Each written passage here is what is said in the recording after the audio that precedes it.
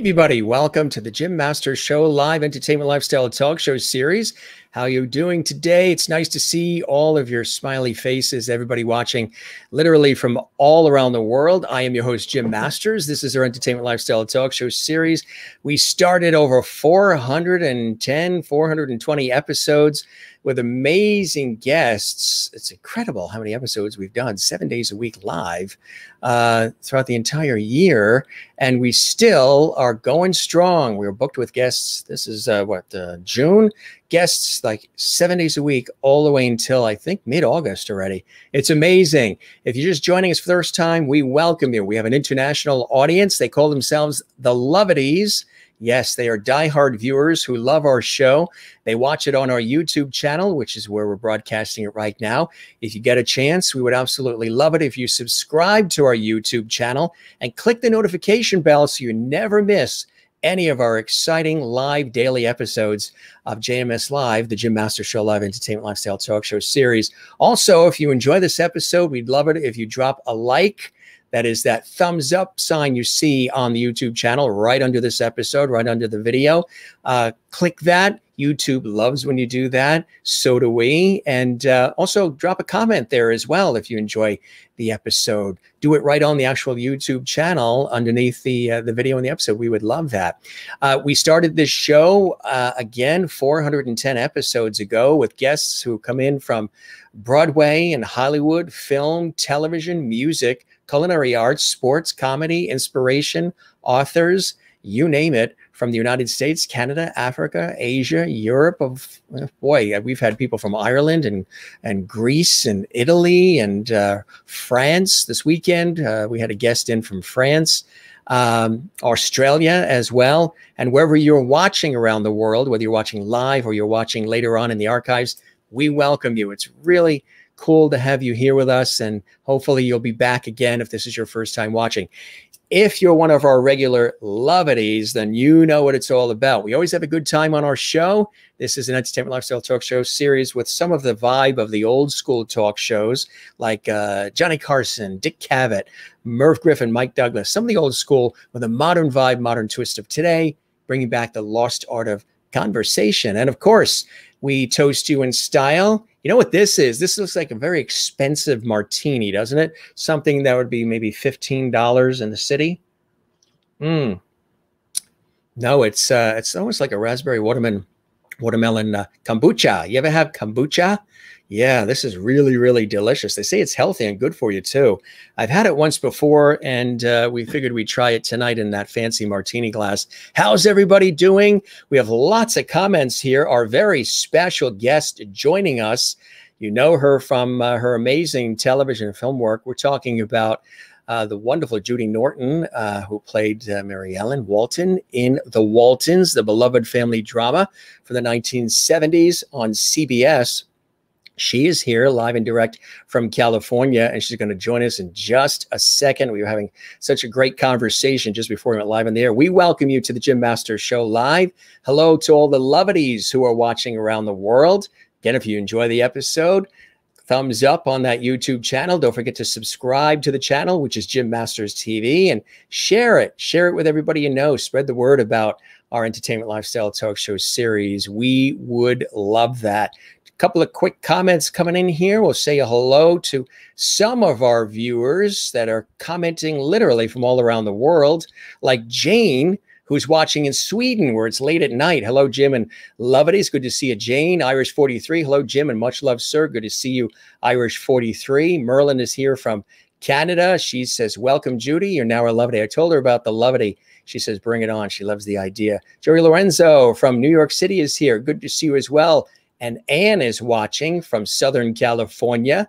All these great viewers called the Lovities. And Wozniak, Jacksonville, Florida is here. Hi, Jim and Lovity friends. Nice to see you as well. Again, everybody from all around the world. Anne in Southern California says, Hello, everyone. Hope you had a wonderful Monday. We sure are having a really good Monday. And it's even better with all of you here. Look at all these great comments. It's loaded up. Everybody's talking about storms that are happening and talking about their family and their cousins. Our lovities like to talk amongst themselves too. We've created really a beautiful community here. Merlin says, hello, Jim and all lovely. She's in Ontario, Canada. Nice. And uh, Maureen is here in Arizona, a very hot and humid Arizona. Hello, Jim and dear lovelies. I'm looking forward to today show with Judy Norton, but not sure if you can stay. Your AC went out. Ugh. And you're in Arizona. The repair dude is on his way.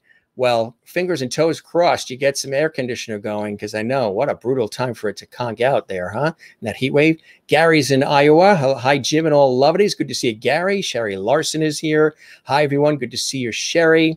And uh, hello, Jim, and much love, sir, from Irish 43, and everybody that is here. And again, as I mentioned, we are welcoming Judy live and direct from California. And uh, you may remember we had Kami Cotler on also from the Waltons, and we had such an incredible conversation with her. And uh, if you remember the Waltons, you remember the role of Mary Ellen and uh, a beloved character on the Waltons, all the characters. Look at this shot right here. This is just one of the shots, and we have several really, really cool ones that we're going to share and celebrate uh, with all of you here on our show tonight. Again, we welcome you from wherever you are. There you go, huh? Little split screen there. Um, she's amazing. She's an amazing talent. She's working on some cool projects, you know, as we speak as well. We're also going to, uh, Judy uh, created a video taking us on a tour of the Waltons house. Yes, that's going to be really cool. It's something that she did, and uh, she's sharing it with us tonight on the Jim Master Show Live, which we really appreciate. So you're going to get a chance to see behind the scenes at the actual house, the Waltons house. But first, let's welcome live and direct from California our very special guest, Judy Norton. Judy, welcome to the show. It's a pleasure to have you here. Hello. Thank you for having me, and and thank you to all your wonderful um, it. Regular viewers. Such, yeah. such a pleasure to be here. well, uh, they've already dubbed you. It, it didn't take long, Judy. They've already dubbed you a Lovity. Okay.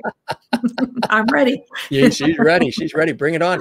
Uh, Joy Lorenzo is in uh, New York in uh, city, and she says, "Welcome, Judy." And Gary says, Hi, Gary. yeah, hi, Lovity Judy. See, Lovity already. You can't go wrong with Lovity, right? The world could use some more Lovity. Uh, Anne is in Southern California right there. And um, welcome, Judy. So happy to see you today and love that. And thank you very much, Anne. We appreciate that. And uh, thanks, uh, Anne. and another Anne, this is in Jacksonville, Florida. Anne Wozniak says, Welcome, Judy. Still watch the Waltons every week on INSP at 3 and 4 p.m. James Hall is watching from a very hot uh, Albuquerque, New Mexico. James, welcome to the Jim Master Show live. Hopefully, you'll subscribe to our YouTube channel. We would love it. Uh, tomorrow night, Marion Ross from Happy Days is going to be on with her brilliant son, Jim. And you're friends with Jim, right? You know I Jim. am. Yes, Jim Meskimen. Yeah, very, very talented impressionist. He actually, he, he does impressions, but he also sings at, he does singing impressions as well. Yeah. So yeah, he just recently sent me a link to a video that he did where he is voicing a character in an animated film and he's singing and it's amazing. So you have to ask him about that. Wow, that's incredible. Kurt from Nashville, Tennessee. Welcome, Kurt, to the Jim Masters Show Live Entertainment Lifestyle Talk Show series. Good to have you here. Zoe D. Uh, Zoe from Boston is here. Welcome, Zoe. And uh, Merlin in Ontario says, Welcome, Judy. You're now a Lovity, and uh, so many others. So we'll take a look at some of the others uh, that you guys sprinkle in as we go along here. Mona in Louisiana. Uh, welcome, Jim and Judy, all the Lovities. Welcome to Lovity Hall. Good to see you as well, Mona. Um, how have you been? Obviously, you know, you've kept busy and connected, but how have you done it? How have you stayed connected and creative, collaborative, and sane. Now, when I say the sane part to the guests, they always say, Jim, I'll need to get back to you on that because I'm not sure about the sane part. I'm still working on that. But how have you been during, uh, you know, the last year or so that we've all experienced uh, collectively and individually? Uh, well, I think like everybody, there's been, you know, challenges. Uh, my industry, the entertainment industry, pretty well shut down. So, uh, like you, you know, you made changes I did. You know, we we all the entertainment industry is a business of learning how to pivot.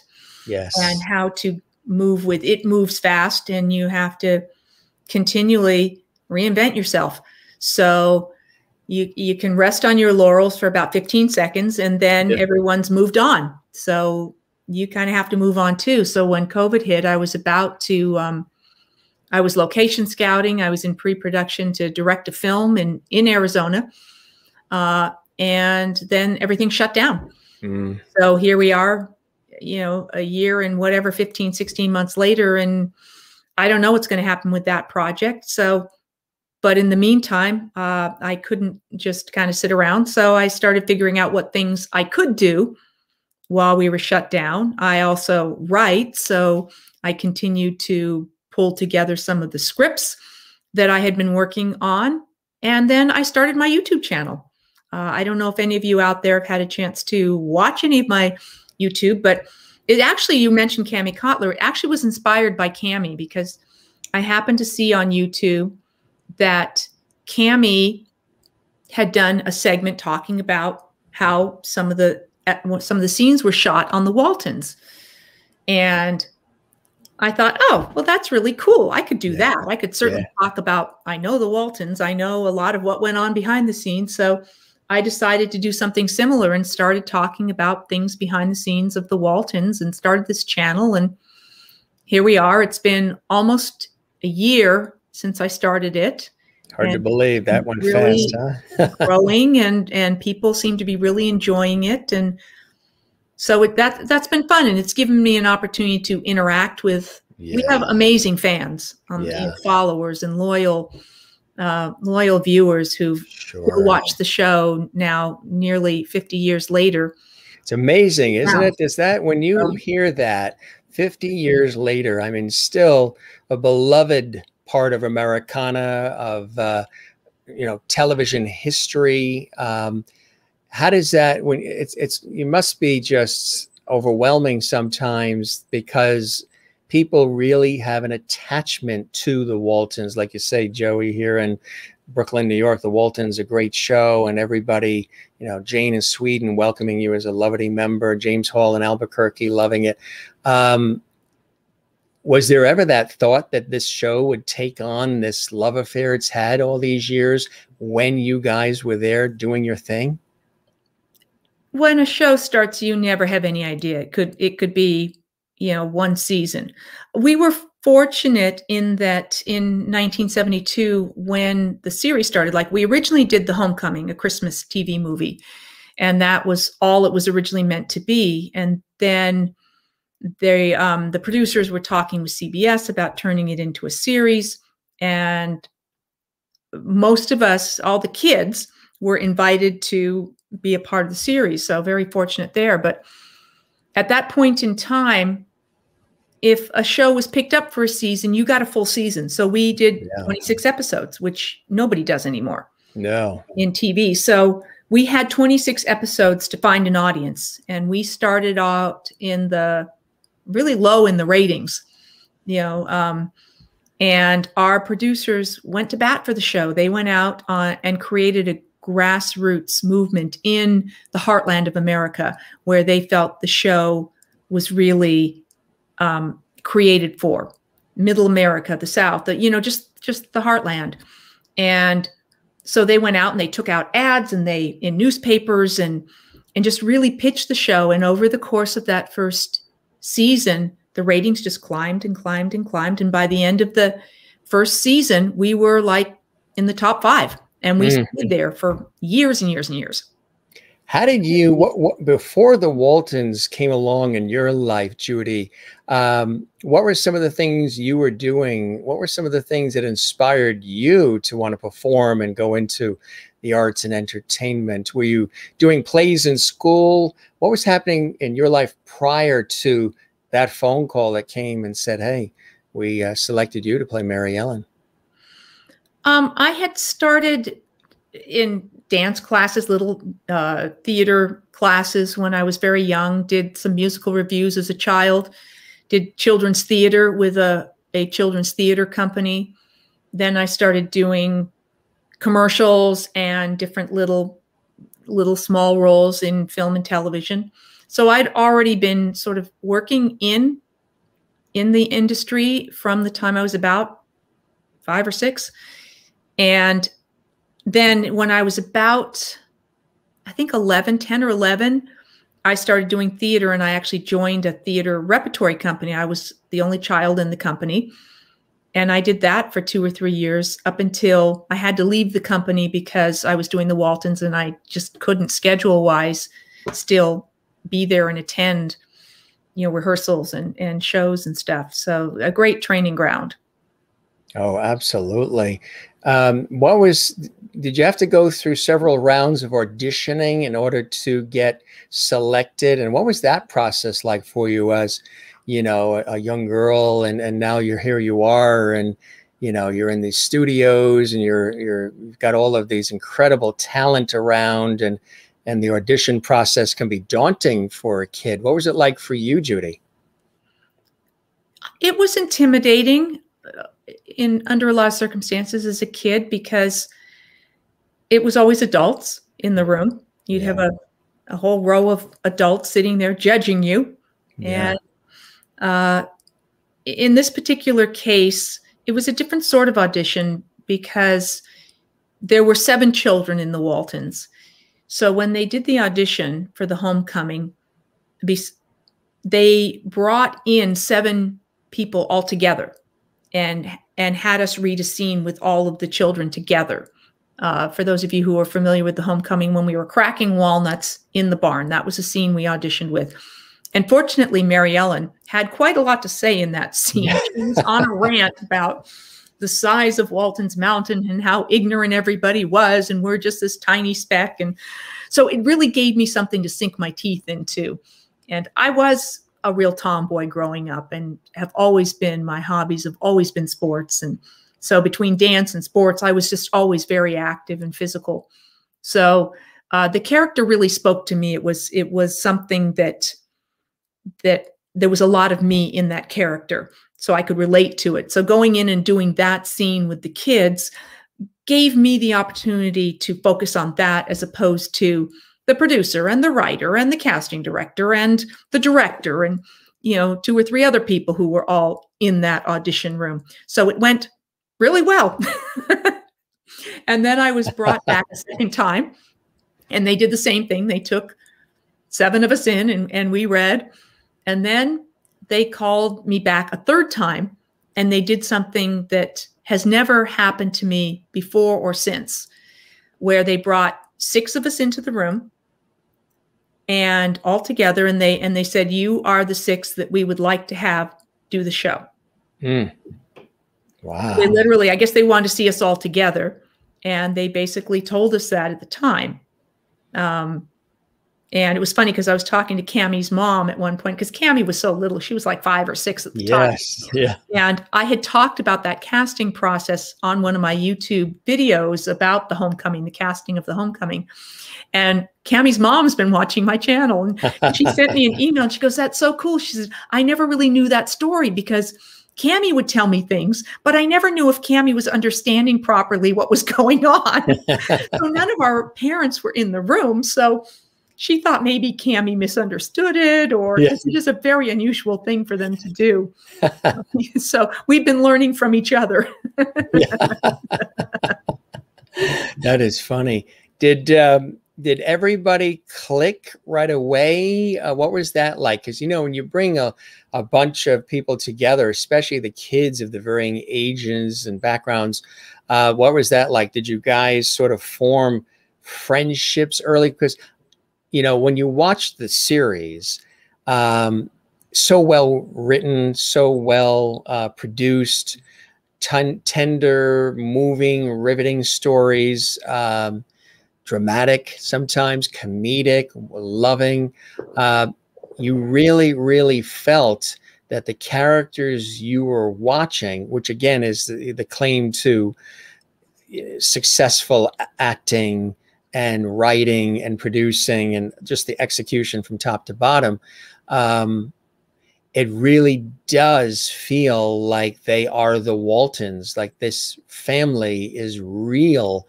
And I'm sure, you know, as a kid acting as in the role of Mary Ellen, when you would see people on the streets and they would assume you're that character, which can be kind of interesting, especially when you're a kid.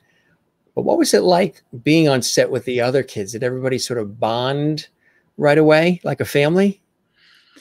We had five weeks of filming for the homecoming. So over the course of that five weeks, we really did bond. Um, there was a fair bit of age range between the kids, Kami being the youngest at about five or six. And then Richard Thomas was, although he was one of the kids, because he was the star of the show, he was never really classified as one of the kids.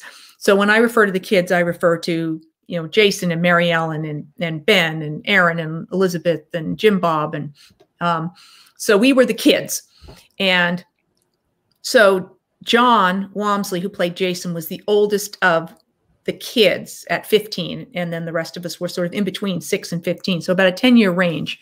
So at 13, which is what I was when we did the homecoming, I wouldn't say, I mean, I bonded differently with Kami because she was little and she was cute, but you deal with a six year old differently than I dealt with, say, Eric Scott, who was the same age as me, or Jon Walmsley, who was only three years older than me, or two years older than me. Uh, so we bonded differently and had a different relationship at that point, but we certainly all got very close and we we were like brothers and sisters. I mean, even from then we'd argue and we'd, you know, we disagreed on things, but it was all still like we were one unit. We just it just happened. It was just like magic, you know, that intangible thing that you can't guarantee is going to happen, even if you do screen tests and all kinds of things. Uh, but then as the series went on, it just it just grew from there. And same thing that like a real family, you don't you can disagree with a family member. You can be like, I'm not speaking to that person today, but they're still part of your family and you still love them. So there was never any breaks in the family that we didn't have complete confidence would resolve. Yeah, yeah. What was it like working with uh, you know, Ralph Waite and My, Michael Learned and, and the other uh, adult characters, were they were they parental? Were they watching over? Were they guiding you guys like loving parents would be? What was that atmosphere like? Because again, for the viewers, everything just seemed so seamless and was so beautifully uh, presented as if you guys are related and it's a real family. What was it like working with the veteran actors and actresses who were playing, you know, your parents, your grandparents, and and the others that came through? I think I felt more of the mentoring aspect from like Ellen Corby, um, and then Will Geer was was like that also at, at times on different subjects. Um, Michael and Ralph that was a different sort of relationship. I think I've heard them both say that they felt they felt parental to us, but I wouldn't say I felt parental, you know, I didn't feel that from them particularly. Not that I couldn't talk to them, but it was just it was just different. I think some of that grew more later um, in an odd way as I became more of an adult my relationship with them changed and I had more sort of adult conversations with them. Then I didn't have a lot of conversations with them when I was still a kid. They tended to, yeah, I mean, we interacted on the set and stuff like that, but I, it's not like I remember sitting down and talking to Michael or Ralph like, I need parental advice. I was already a teenager. I thought I knew it all. So I wasn't necessarily going to ask anybody for advice. You know how teenagers are. I Dad, was, can oh, I have the I car keys? things, things were happening. Like people will tell me about things. I'm like, really? Where was I? You know, I was just oblivious. I was totally, you know, self-absorbed in my own little bubble. I missed but, a lot. we've got a cool photo here. Cutie patootie, as they say. When uh, was this? Oh, I'd say probably, you know, seven or eight there. Um, that was just, you know, it was a photo shoot that I did for my probably, you know, headshot. Yeah. We used to do these composite shots where you'd have a headshot on the front and then you'd have like three or four different shots on the back that showed different sorts of characters and things. And And so that, that looks like the, he loves me, he loves me not. uh, plucking the daisy, plucking the daisies there. yeah. Um, so, do you remember the very first scene that you were in? That what your scene was? Because uh, that obviously must really be near and dear to your heart. Um, no, I don't remember what it was. It might have been, we might have shot that walnut cracking scene first, uh, the one that we auditioned with, but I, I don't totally remember. I mean, we're talking October 1971, so it's been a minute or two, which is amazing since I'm still only 39, you know. That's exactly right. Years later, and, you know. yeah. Merlin, Ontario, Canada asks, um, did you have schooling during filming? Were the kids being schooled? Was there tutors on set, or how'd that work as far as the education for you guys while filming the Waltons? Right. Um, during the school year, um, we did have tutors. Uh, it is a requirement. Uh, and so when we were younger, when there were six of us still in school, we had two teachers one handled the older grades, so that would have been me and Eric and John, who played Mary Ellen, Ben, and Jason, because we were the three oldest. And then the three younger ones, Mary, David, and Kami, who played Ben, I mean, Aaron, Elizabeth, and Jim Bob, they had a teacher for the younger grades. So we were required to do three hours of school a day. So in between scenes, we'd go back into, we had a trailer that was set up as our schoolroom and we would go into there and do work on our various different subjects. At the beginning of a school year, I would go to my I was in high school by the time the um, series started. I would go to my high school and I'd go, okay, what are my mandatory subjects? What book are they going to be using? And I would get that stuff from my school, and then I would take it to the studio, and I would cover those various different subjects. The teachers were amazing. I, you know, I got a lot of, I got complete one-on-one attention with any subject I needed it within, you know, because there was nobody else in my grade. So it was just me. Right. Uh, so it was, it was fabulous. If you had a really busy day on set, you might barely get any time in in the schoolroom. They weren't allowed to send us home with homework. Um, but it just meant that on a day when you had less work, you would bank school time. So instead of doing just three hours, you might do an extra hour. So we would bank time so that then um, on days when you were really your your character had a heavy storyline and you were on set all the time, that you'd make up that time. Are there particular episodes along the way that are some of your own personal favorites, uh, Judy? Uh, yeah, I mean, it's really hard to pick. There isn't a single one, but some of the ones, as I've been looking back at episodes to do these segments, that the ones that stand out for me are things like the Easter story, yeah. when um, Olivia had polio, and I had a really fun subplot where I am going to go to the school dance with GW, my my young boyfriend, and he can't dance, and I teach him to dance up on the mountain in the snow and ice, and and but I can't dance, so John Boy teaches me to dance, and it was it was really sweet. And then, um, you know, it was a two hour special, so lovely story. Um, that one the um, the firestorm, which I felt was a very important episode. Um, John Ritter, who played our minister for several years, amazing, amazingly talented actor who went could do brilliant, heartbreaking drama and turn around and do, you know, rolling out of your chair comedy. Yeah, uh, we were so so fortunate to have John Ritter with us for so many years on our show. But he, when early on, when he was the minister and, and John Boy was running his newspaper and he wanted to print excerpts from Mein Kampf so that people would be aware of what the Germans, what was happening with Hitler in Germany. And there's a huge uproar in town and there's a big um, climactic scene around a fire where they're going to burn all these books.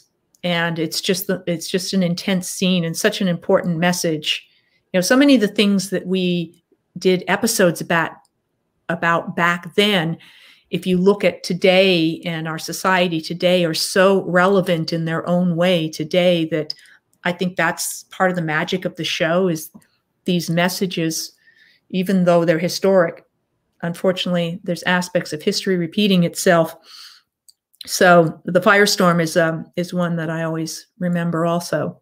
And then the house burning down, and then you know that was you and I were talking that about that. That that uh, yeah, I remember, and, and that uh, that that really knocked everybody for a loop. And I remember people talking about it, and uh, of all ages, when the house, the Waltons' house, actually burns down, and uh, you know, what was that like for you guys? I would I would imagine, you know, it is scripted television, but still, there must have been so much emotion involved. Uh, especially being you know younger and here you are and uh, there's that storyline being so vivid and so riveting and so emotional that the house you know goes up in flames it was quite something to film yeah um I, I don't think it was so much that I felt emotional about the house burning down because I knew it wasn't really burning down.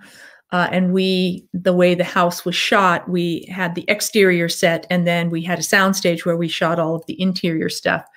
Um, I remember on the interior sets that they they put gas jets along the bottom of like the baseboards in the like in the hallway up where the bedrooms were, and then they had then they turned them on and they like shot flames up the side walls as we ran through this hallway. So that was a little daunting. It's like I am running by this in this fairly narrow hallway past live flames, you know, in in a flannel nightgown. you know, with long hair. No. Um, now they had they had fireproofed the supposedly our our night clothes, but so things like that were like, oh shoot, here we go. There's yeah. the fire. Yeah. Um, so those things were just got your adrenaline going. Um, so we had a number of those things in the exterior. That one was kind of fascinating. We shot on a Friday night we shot late, which we pretty much never did. And there were all these spectators. Like a whole bunch of people heard that they were going to set the Walton house on fire and they showed up to watch. So we worked late. The fire crew was there because anytime you work with fire, there have to be, you know, fire safety people on set. And so they had like all these spectators kind of behind, you know, uh, not really barricade, but they, you know, there was a, a, a an area they couldn't move past. And, um, and then they were, they were setting flames. The house isn't a full house. So they could put flames shooting up behind where you couldn't see that the house wasn't actually there. The front windows, they had put these metal, big metal barricades behind them. And I remember at one point I was like, as a character, throwing things out the window the, of the real exterior of the set. And this window next to me exploded out because they set you know set it on to to blow out like the fire had blown out that window. And it's like i'm out there going oh ah you know it's like that moment was a little real like ah they're blowing up things next to me.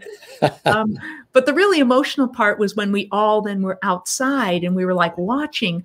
Yeah. and like ralph john walton goes running back inside because they can't find john boy and they can't find aaron so then it was like, oh my goodness, you know, our father is running into this burning building, and you know, my brother and my sister are in there, and um, I think we just, you know, in the way in which as actors you you build the reality of something, and I think some of the younger ones felt like it really was real to them. Yeah.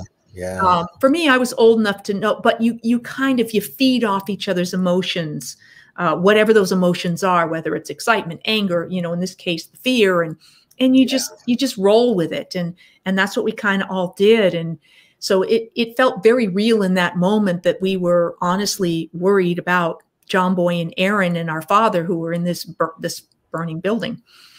So it was yeah. you know, it was quite something. It was it was fun and exciting in some ways and and yet you know a little yeah. nerve wracking in others. yeah. Absolutely. Of course, there was another time on the Waltons that was very important, especially for for your character. Oh, yes, getting married. oh, it's getting married. Yes, yeah. yes. Tell us about that. That was, uh, of course, quite a build up and uh, quite a storyline as well. And uh, what was that like uh, for for Mary Ellen and for Judy? Um, well, I was only 18. Yeah. Um, so, I mean, I thought it was a really lovely story. It was a two part episode. Uh. And it was so it was a fun script, a fun episode. Uh, Tom Bower, who played Kurt, had actually done an episode in an earlier season, The Wing Walker, where he played a stunt pilot. And but I didn't really work with him particularly on that episode. I didn't really have scenes with him. Ah, Richard Gilliland. Oh, very nice, sad. Yeah, we lost him recently. So yeah. Um, but uh, yeah, so I didn't I didn't know Kurt very you know Tom very well, and I think that was one of the first scenes we we shot was we went up on location to Frazier Park, and we shot the wedding. So it was like, "Hi, how are you? Let's go get married." You know, nice to meet you. you know? and that happens with filming a lot of times because we don't shoot in order. So all of a sudden, you know, we're shooting, we're getting married before we've really had the courtship. That's right. Uh, yeah, to... it's kind of like being a mail order bride, you know. It's like, oh, hello. and then we went up. So we went up onto the mountain and we and we shot the wedding. And then at some point back at the studio when we were shooting the other scenes, yeah, one day it word came down that they forgot to get these close-ups. This shot that you have right there, yeah, was not shot in Frazier Park. Ah. That was ah. shot on the back lot of the studio. I am standing on about an eight foot ladder with a green screen behind you? No, with trees. They put us up on these tall ladders so that they could shoot ah. up a bit yeah. and have like trees behind us that you couldn't totally identify what they were, but those Ooh. are not pine trees behind us, which is what was up on the mountain where we actually shot. and then they put these these on the like, mountain, yeah. Yeah, no, that was that was there. So you see those those are pine trees. But on the other shot, it's you can't really tell what that is, but those are leafier trees. Wow. Yeah, so they did this and they got these tight close-ups because they didn't they hadn't gotten close-ups of us saying I do. Yeah, right. so they had to they, they had to recreate this recreate somehow in the back. And and then they put these like they used to have these things called nine lights. I don't know if they still have them or not, but it was like a square with nine lights on it and they were intense. They were hot and they were blinding and so mostly what I remember about those I do's, it was trying not to blink and not to have my eyes water because those were like right two banks of them like right on me and and then trying to you know like act the emotion of the moment just in the most uncomfortable of circumstances and that's that's the reality of acting, you know? All the soap opera actors and actresses say the same thing about the romantic love scenes, too. Yeah. They shoot them sometimes at seven o'clock in the morning and it's freezing in the studio and it's nothing like that warm hot toddy in the fireplace and everything that you see building up to it. They're like frigid. And yeah. I was, yeah. was going to say, we say that often uh, if uh, the, viewers uh, only knew what goes on behind the scenes to pull it all together, uh, it's a lot of work and a lot of toil and a lot of unusual uh, circumstances. Uh, what would be another one that stands out for you that was uh, kind of like that, where it was a little unusual or something, or there was just a lot of effort had to really go into it to pull that off? Oh gosh, you know, this is where they start kind of blurring together. Yeah. Um, yeah. You know, there were there were odds and ends of like random scenes will stick out to me. Like when they were, I don't particularly like heights, despite the fact that I've done skydiving and wing walking and flying trapeze and things like that. But I'm not awfully fond of standing on the top of buildings. Yeah. Um, and there was an there were a couple of episodes. Um, one was um, the carnival where uh, we uh, a group of circus performers came and stayed on the mountain for a few nights. And there's a point where I go and I see the tightrope walker and and I decide that you know I think that's really I want to be a tightrope walker and she gives me one of her old costumes and so I go and I get up on top of the barn and I start you know with an umbrella and pretend and you know like I'm walking along the the the, the peak of the barn. Well, that section when you see the long shot of supposedly me up there was a stunt double yeah. and and they had at the peak of the um, of the um, roof, they had then built a platform that was flat that you couldn't see. So you could see the peak, but you couldn't see that there was like a, a fairly wide platform up there. So it was level. So she wasn't really walking on the peak, on just the point of it.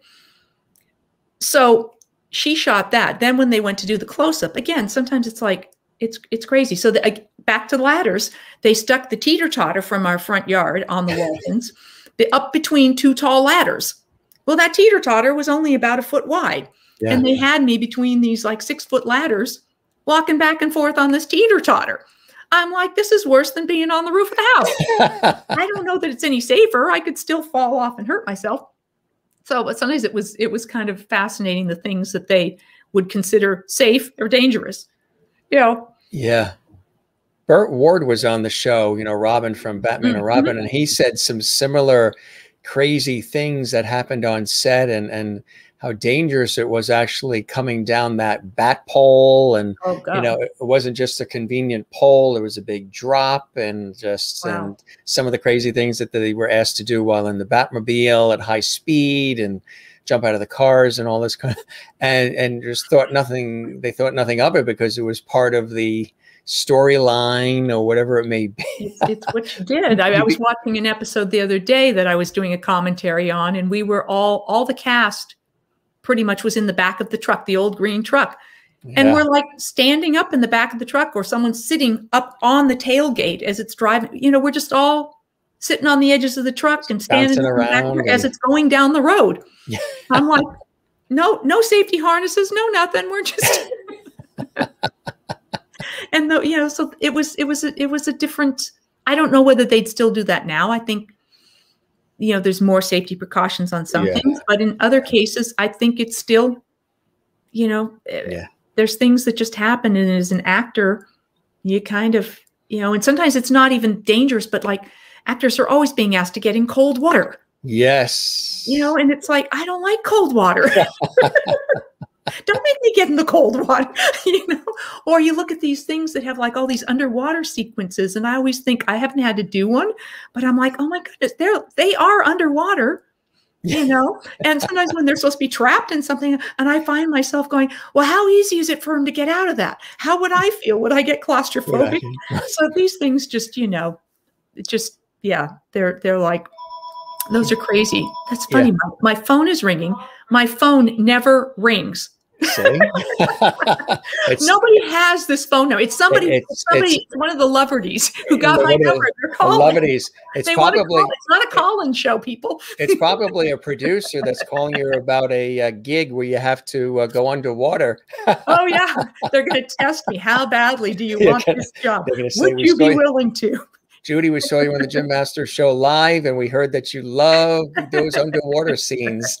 Yeah. Well, I do know that you do like the water. I, I, mean, you probably don't want to be under it, but and you don't really like the heights. However, uh, I do know that you did have a stint where you got an opportunity to be high above the water while you're sailing on the water on the Love Boat. Ah. yes. What was that like?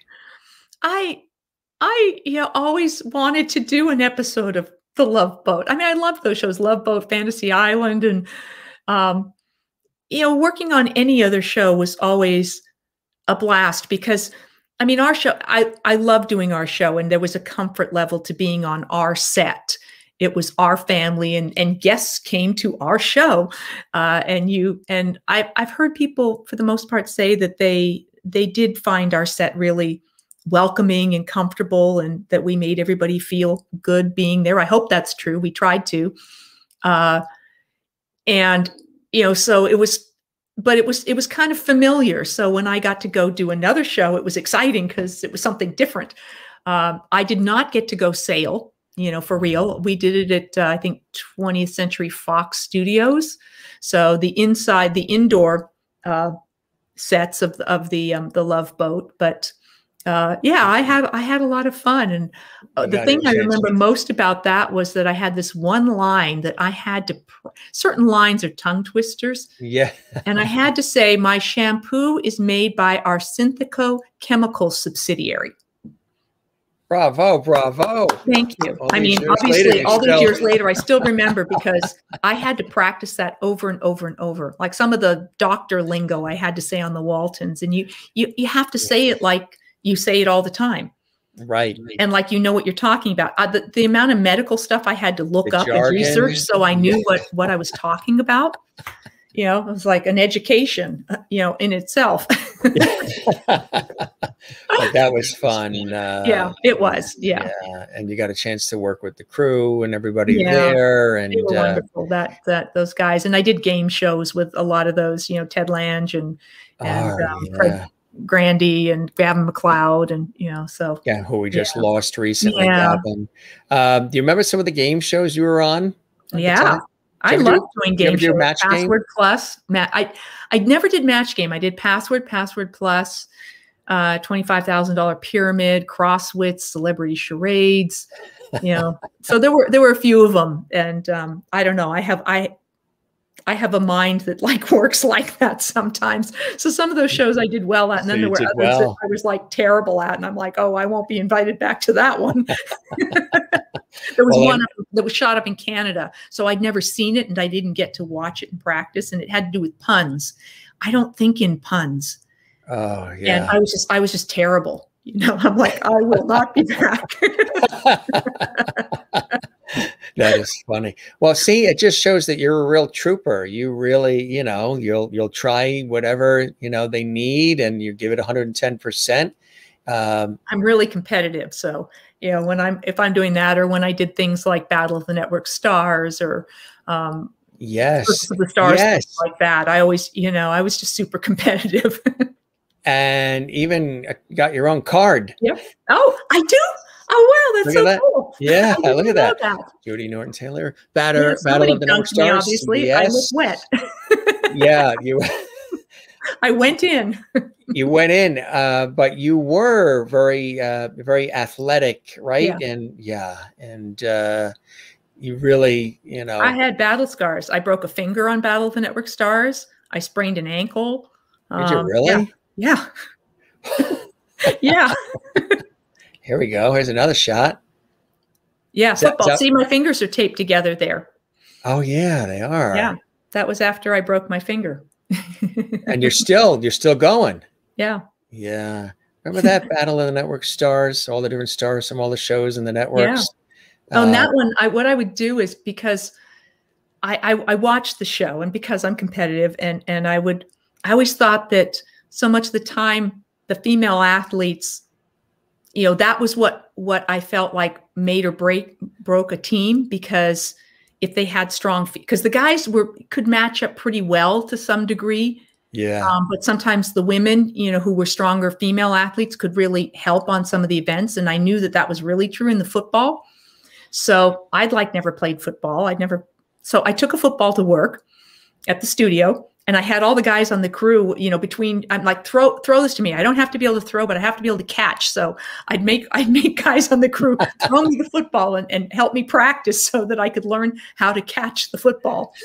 So, and and and it really helped. I um I ended up you know, I ended up doing doing well enough in the football to to really help the team, which made me feel good. Now, when you were doing that, uh, the Battle of the Network Stars, how how long are you there? Is it a couple of days? Is it a weekend? How long? Is it's a the, weekend. We it is a weekend. At yeah. Pepperdine University in Malibu, California. That's, so that's, it would yeah. be a Saturday and Sunday, all day, long days. And yeah. usually at the beginning of the weekend, for people who hadn't done battle, you kind of come and go, oh, this is going to be fun. And, you yeah. know, very shortly into it, everyone's out for blood. It gets like really, really competitive. So, yeah. And then some of the guys on the team, like I did three battles with um, Greg Harrison. Oh, yeah. Who's also really competitive and a really good athlete. So the two of us on a team together, it was like, you know, and then Tom Selleck, I did a couple with, and he's, you know, he's a heck of an athlete. And, I would tell people my Tom Selleck story. Um, I mean, this was when he was doing Magnum PI, and you know, was like the sort of you know. Oh yeah, he was the it guy. Yeah. Oh yeah, yeah, and a really you know, really nice guy. Really, you know, I I really um, enjoyed working with him and meeting. And what a great run he's really, had on Blue Bloods on CBS yeah, now, huh? Another, um, great series. He was the captain of our team. Um, one time and when I sprained my ankle on the obstacle course. And I had, you know, I finished, I, I sprained it coming off of the, over the, the wall. And then I had to go through the water and, and, and race to the end. And when I find, when I crossed the finish line, I sort of like laid down because then the adrenaline from the ankle was where, and I was like laying on the ground, you know, trying to figure out how bad the ankle was, you know. Yeah and Howard Cosell's trying to interview me. Yeah. I'm laying on the ground. Judy, Judy, Judy. and Tom Selleck came over and I said, I know I was really in pain because it wasn't until I watched the show when it aired that I realized that Tom Selleck carried me off of the obstacle course field and I was in too much pain to recognize and appreciate and enjoy the moment. What, what's happening? it's like, oh no. Wait, I had to sprain it now. yeah, really. I mean, hey, I got I got carried by but Tom Selleck, but I didn't get to enjoy it in style, right? yeah. That is funny. Yeah. got some other really really cool shots here. This is uh, from obviously the the show itself. Yeah, that was from the first episode that we um, filmed, The Hunt. It was not the first episode that aired, but it was the first one we shot. And um, I am trying to decide whether I have some money, whether I'm going to buy that catcher's mitt, or um, because I want to play catch with GW, or whether I'm going to buy that dress because Martha Rose Coverdale, my nemesis, is um, making eyes at it and making eyes at my boyfriend, and um, so I'm trying to decide which is my better bet to um, to get the boy. I tried the dress. I decided I looked stupid in it, and yeah. so I went back for the catcher's mitt. Here's another shot. Ah, that is from a film of mine, Inclusion Criteria. Uh, actually, we retitled it Nowhere to Hide. Um, it's a psychological thriller, and um, that I wrote and starred in and uh, it's um, available on uh, on DVD and also on streaming um, on on some some channels. So yeah. super super cool. That was a, that was a fun project. We an indie film. We shot it in a couple of weeks and nice, very different sort of character. Absolutely. Absolutely like this shot too. Yeah, that's also from that from that that's movie where we created fake snow snow in in the living room. that is nice. That's really really cool. And do you guys you guys still get together? Yes, there we are. That is at um, the Will Geer Theatricum Botanicum in Topanga Canyon. It's a theater, uh, and that is um, right in the center there with the straw hat on is Will's yeah. daughter Ellen Geer. Um, I was and, at a TV shoot in LA and I had the rental car and I did that drive from the Topanga Canyon overlook to mm-hmm. Malibu. Uh, twisty, turny, turny, and windy, but how beautiful that area of Topanga Canyon. Yeah. What a yeah. great area there. It really is. And he built this outdoor theater that's just stunning. And it's been there for like 50, 60, 70 years. I think he built it and created it in the 50s when he was blacklisted and, um, you know, just like started putting on his own shows and things. And his, his yeah. daughters, his family, you know, grandkids, you know, are still involved, still run it. Um, and it's just, it's literally carved into the, the side of the hills and stuff like that. And, and it's, it's just amongst the trees and, you know, they put on these plays that just utilize the whole beautiful environment there. Really, really fantastic. Here's another uh, photo when we did our research that I know is near and dear to your heart, and maybe you um, can share with the audience who this special man is with you. Uh, Earl Hamner, who yeah. created the Waltons. We would call him Uncle Earl. Yeah. Um, and this was um, there was a, a, documentary that was done about his his life. Earl Hamner, storyteller, and actors and whatnot from so many shows that he wrote and was involved with. Uh, did interviews because you know to work with Earl was to love Earl. He was such an amazing writer. His sensibilities as as a writer uh, were just so beautiful. So this was we were paying tribute at a screening and yeah. yeah. And another wonderful shot we came across here. Oh, with Ralph Waite, yeah. Yeah. yeah, that was one of the last thing, things we did together was a, a, photo shoot for Entertainment Weekly. They were doing re, you know sh shoots for reunion, uh, gathering cast together to do these photo shoots, and I, I didn't have particularly have shots with some of the cast members because you work with them all the time, so you don't think, oh, take a picture with me. Yeah. Um, and so that for that shoot, I just was like grabbing grabbing shots, and I'm so glad I got this one. It's not a good shot of either of us, but I'm glad I have it. but there's a warmth there. It's like, yeah, yeah, it didn't have to be like uh, perfect or scripted. It's just, you know, mutual uh, admiration and respect and love, and and that's what it's all about. It's another Yeah. great one here. Tell Yeah. us about. Uh, I see Kami and Michael uh, Learned, and, and and my and Mary McDonough and Jon Walmsley, and that was John's um, former wife, Lisa Harrison, who played his wife Toni on the series for um, uh, you know a short while towards the end of the series. I believe this was in Germany. Mm, No, no, it's not. Um, because I don't think Lisa was in Germany. Um, yeah, I have no idea where that was, but yeah. there you go. but you're all together. yeah, yeah, we we do a lot of a lot of events together over the years. This now you talk about heights uh, and not really enjoying the heights or enjoying uh, the underwater type stuff. And I believe at some point, I don't know if this was Walton's or not, um, but I think you were sort of saved as you were up on the heights. that is the movie Hotel, the That's original right. movie from the you know late 1960s, um, and the climactic scene when the elevator drops and they have to rescue everyone out of the elevator, and that is Rod Taylor, um, who has just pulled me up out of this elevator and is um, handing me off to be put into another elevator. So yeah, one of my early rescues. And, and how what are you six there or Probably about eight, eight or nine, about eight or nine, I would say. Mm, here's another great shot. Ah, and you know who I'm with there?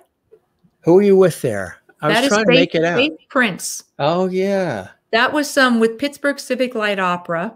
Um, it was my first um, equity union musical that I did after the Waltons. It was right after the Waltons. And um, I'd always wanted to do musical theater. And so I got to um, do the lead in a production of Cinderella with the Pittsburgh Civic Light Opera. And Faith Prince played one of my stepsisters. And we, we became good friends. And yeah, That is cool. There's another shot here. yep, that's also from Cinderella. Mm. That's a lovely actor singer named Keith Rice. Did he stay in the uh, the industry? As far as you Um. I I think he, he did do um he did do some you know some theater and stuff like that. Um, I I lost track of him, so I'm not sure um Yeah. you know, where where he went from there. But just you know one of those I I got to work with some just amazingly talented Mhm. singers and stuff, and he was he was one of them. He had just the most beautiful voice.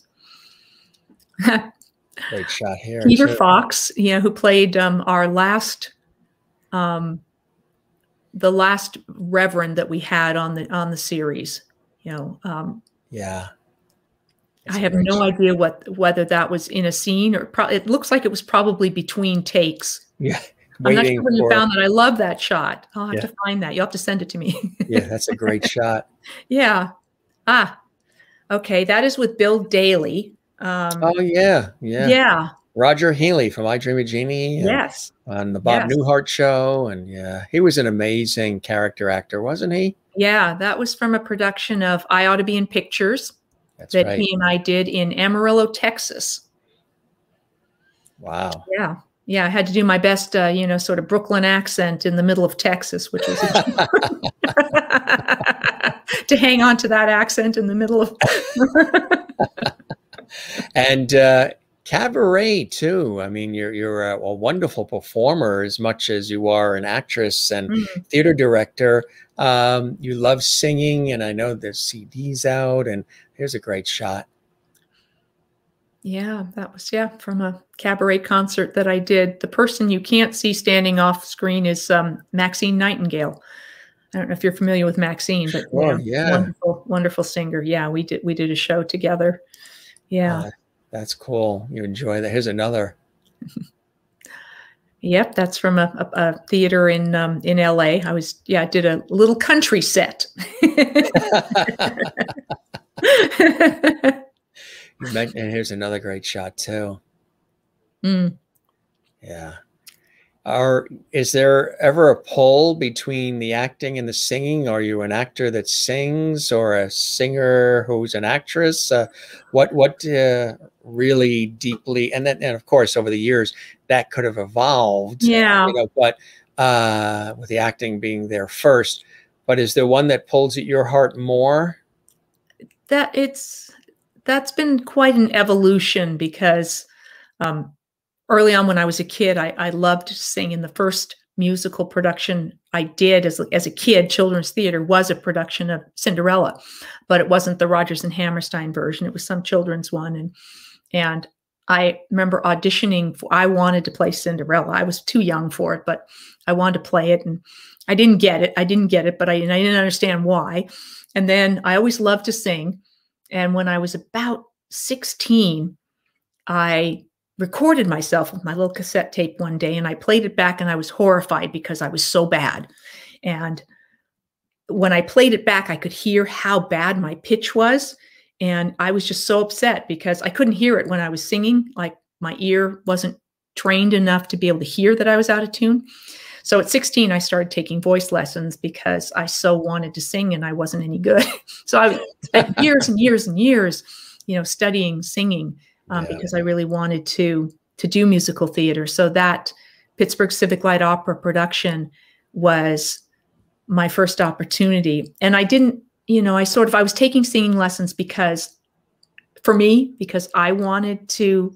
I thought if, if I only sing in my garage, I'm you yeah. know I I did it for me.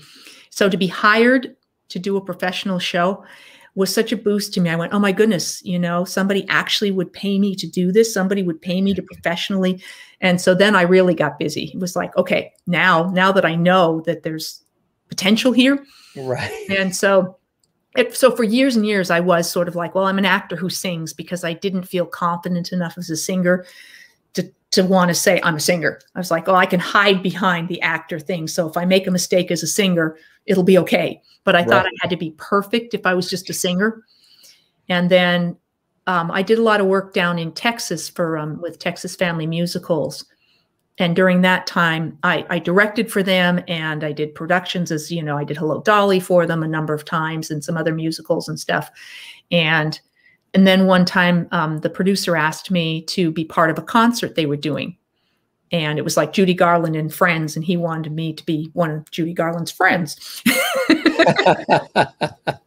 so it was just a concert, and that was one of the first sort of straight up concert shows I did. And he was like, "You're really good at this. You should do more of it." And so he kept inviting me back to create different shows, and so I did a lot of concert work for him. And that was really when I started getting the confidence to be able to say, "I'm a singer," you know, without having to feel like I had to hide behind, you know being an actor. So now I still love both. I, I always, you know, if I haven't been doing one for a while and I get a chance to do it, I love it. And I'm like, oh, why don't I do this more? You know, it's kind of like the difference between writing or directing or acting or being on stage or being on on television or film.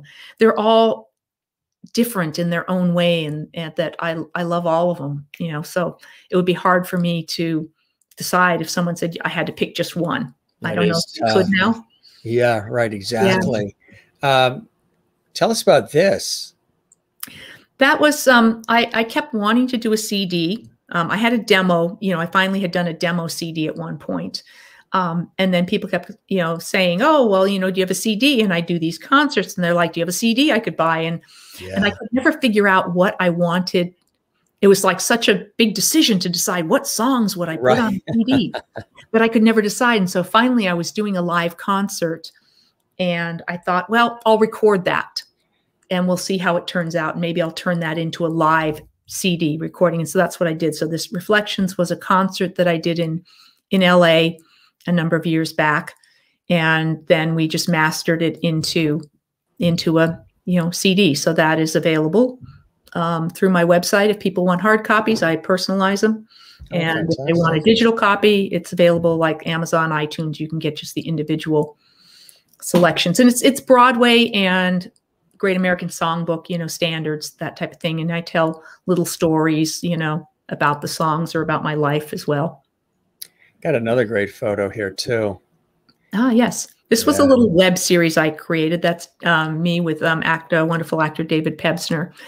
And it's sort of um, a friend of mine had had created this concept. She's an or, a professional organizer, and so oh, she yeah. had this idea for this show called the Disorganized Zone. You know, where had a little sort of magical element where people just have trouble with some element of their life that just isn't organized, and and I'm like this organizer, and so I kind of come in and with a touch of magic somehow help them sort out their life. And it was just a little, we did, it was an experimental project. Um, and we shot about seven episodes and, and it got put into a little DVD again, available, you know, on Amazon.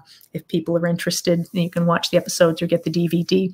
Um, it's a silly little thing. It's, it's fun. It's not, I wouldn't say the production value is great. Just disclaimer. I was experimenting with, you know, just sometimes like kind of with COVID, just wanting to get something done, wanting to try something, wanting to, you know sometimes if you wait to get it all right you never do it so exactly right i've yeah. had conversations on the show about that sometimes you have to learn uh, one, one of my most difficult things is putting together a demo reel because mm-hmm. i'm always like how am i going to you know all these years and all this material and all this footage how am i going to narrow this thing down to like three minutes. I mean, and what am I going to put first? Do I put the best stuff first, or do I yes. wow them wow them at the end? And put it first because they may not watch the whole thing. They'll do like thirty seconds, and or if even if that. if the first thirty seconds doesn't grab them, they won't watch the rest, so they'll miss the best. And but then sometimes I've gotten into the habit, which is a bad one, and I've learned not to do it anymore. Is I'll say, you know what? Even though I've got all these years of all this footage and all these shows, and projects, productions, and all of this, I'll wait because that next thing I'm working on, that's going to be the one that I'm going to want to put on the reel. And you could go through that cycle forever. yeah, I talked with um, a, a singer songwriter friend of mine about that one time when I was trying to decide about the CD. He goes, You know what the best CD is? The one you're going to do next. You know, no matter what you, it's always going to be the next project. That's, that's going to be, you know. Right. So there's points where you just do yeah, it. Yeah, you know, you do it. If you're so, and I, I think I try not to get too hung up in perfectionism because I think that can be it can be something that just stops you. Again, it it, it blocks you from doing something. You know, I mean, all you can do at any given time is the best you can do, given the resources you have and what you know in that moment. So you would expect that each thing you do would be better.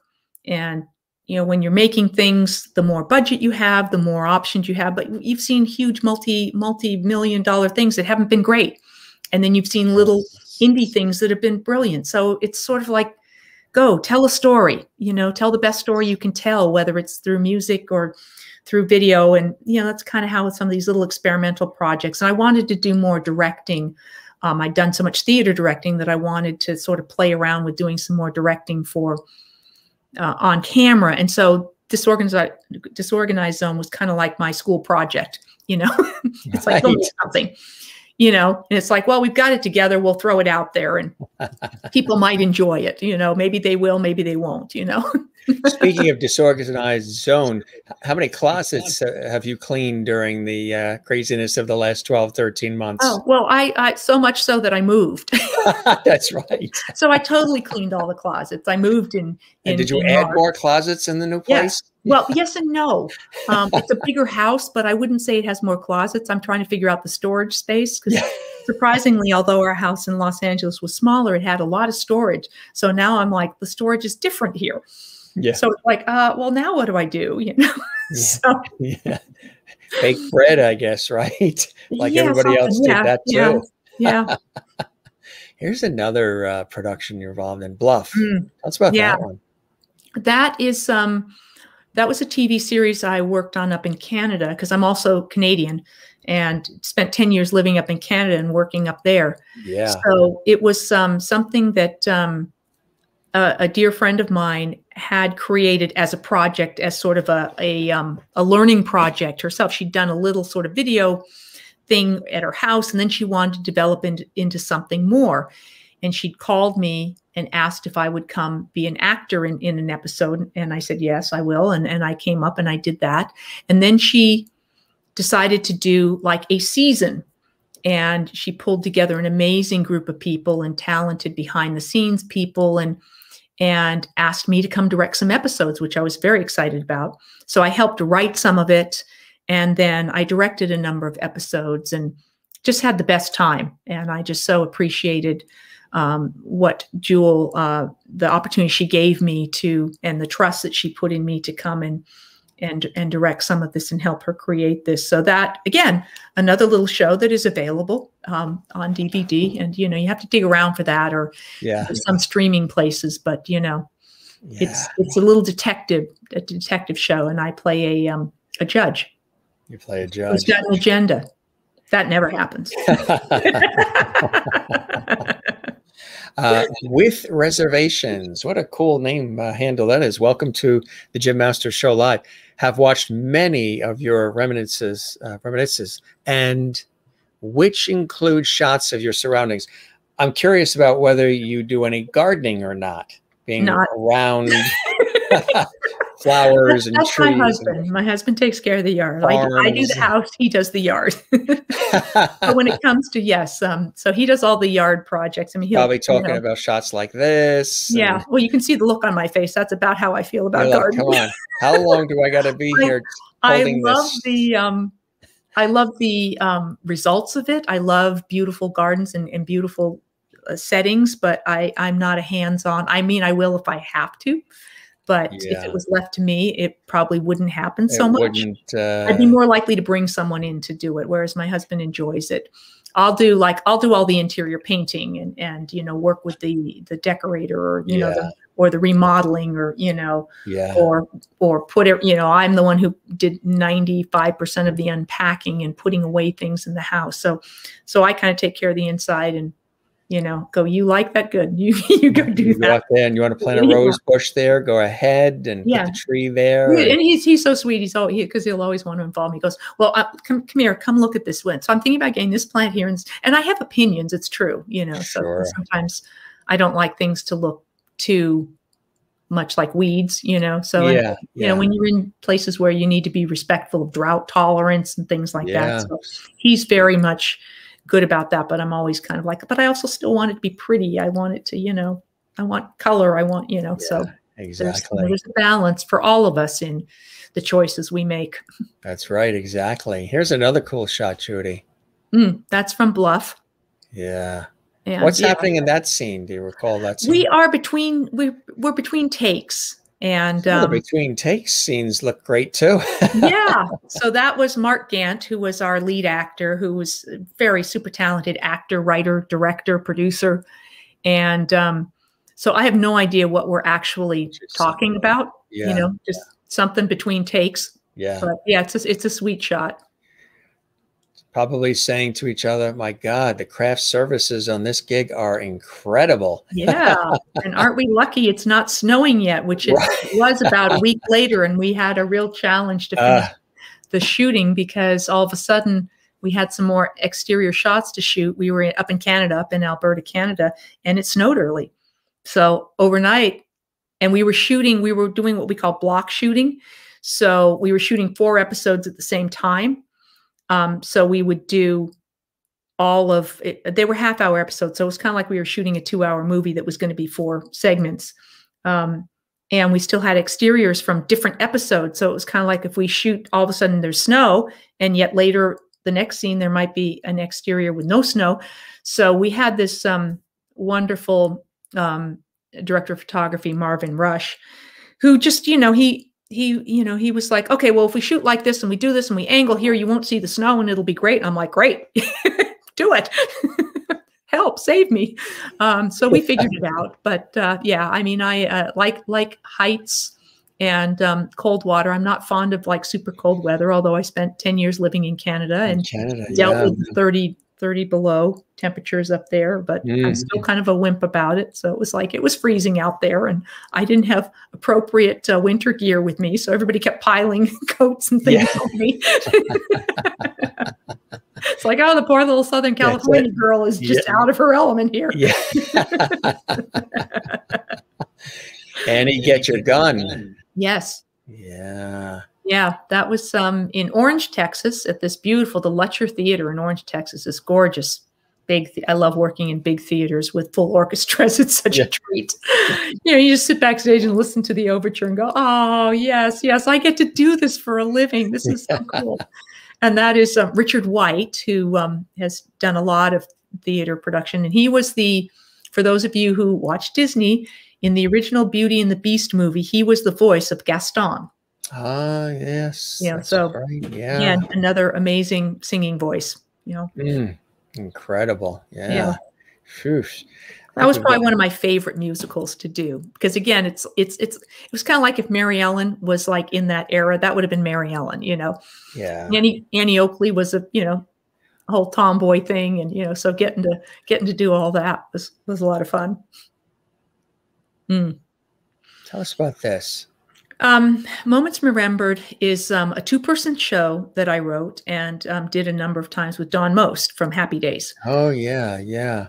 And try to connect with him. If you talk to him, love to oh, have him on the show. We had Anson absolutely. Williams, Marion Ross is tomorrow. Love yeah, I'm sure he'd love to. He's, yeah, yeah, he's doing, he's working all the time. And, and during the time that we worked together, he was talking about wanting to start doing some singing again. And we talked about it. And I, I, think it helped inspire him to just get going. And he's been doing all these like big band concert um, gigs. Yeah. But what happened was um, we were supposed to do love letters, a two person sure. book in hand show. And the producer called me, I don't know, you know, maybe a couple months before we were supposed to do the show. And he said, they've tripled the rights. I can't afford it. We, you know, we just, we, we would, you know, the theater doesn't support that kind of a budget. And so I just, you know, in sort of half laughing, half joking, half not, I said, well, you know, we should create our own show that is similar, but, you know, not the same show. And we, we are talking a little bit. He goes, oh, that's a great idea. Let's do that. So I kind of talked myself into having to write this thing. So it was two character show. And um, I wanted something again that was simple that you could have script in hand so what it was was this couple that originally met when they were in college, and she talked him when they were when they were engaged into keeping a journal, keeping a diary, and so they each kept these these sort of journal diaries for for their whole life, and then one one evening they decide that they're going to read them. Mm.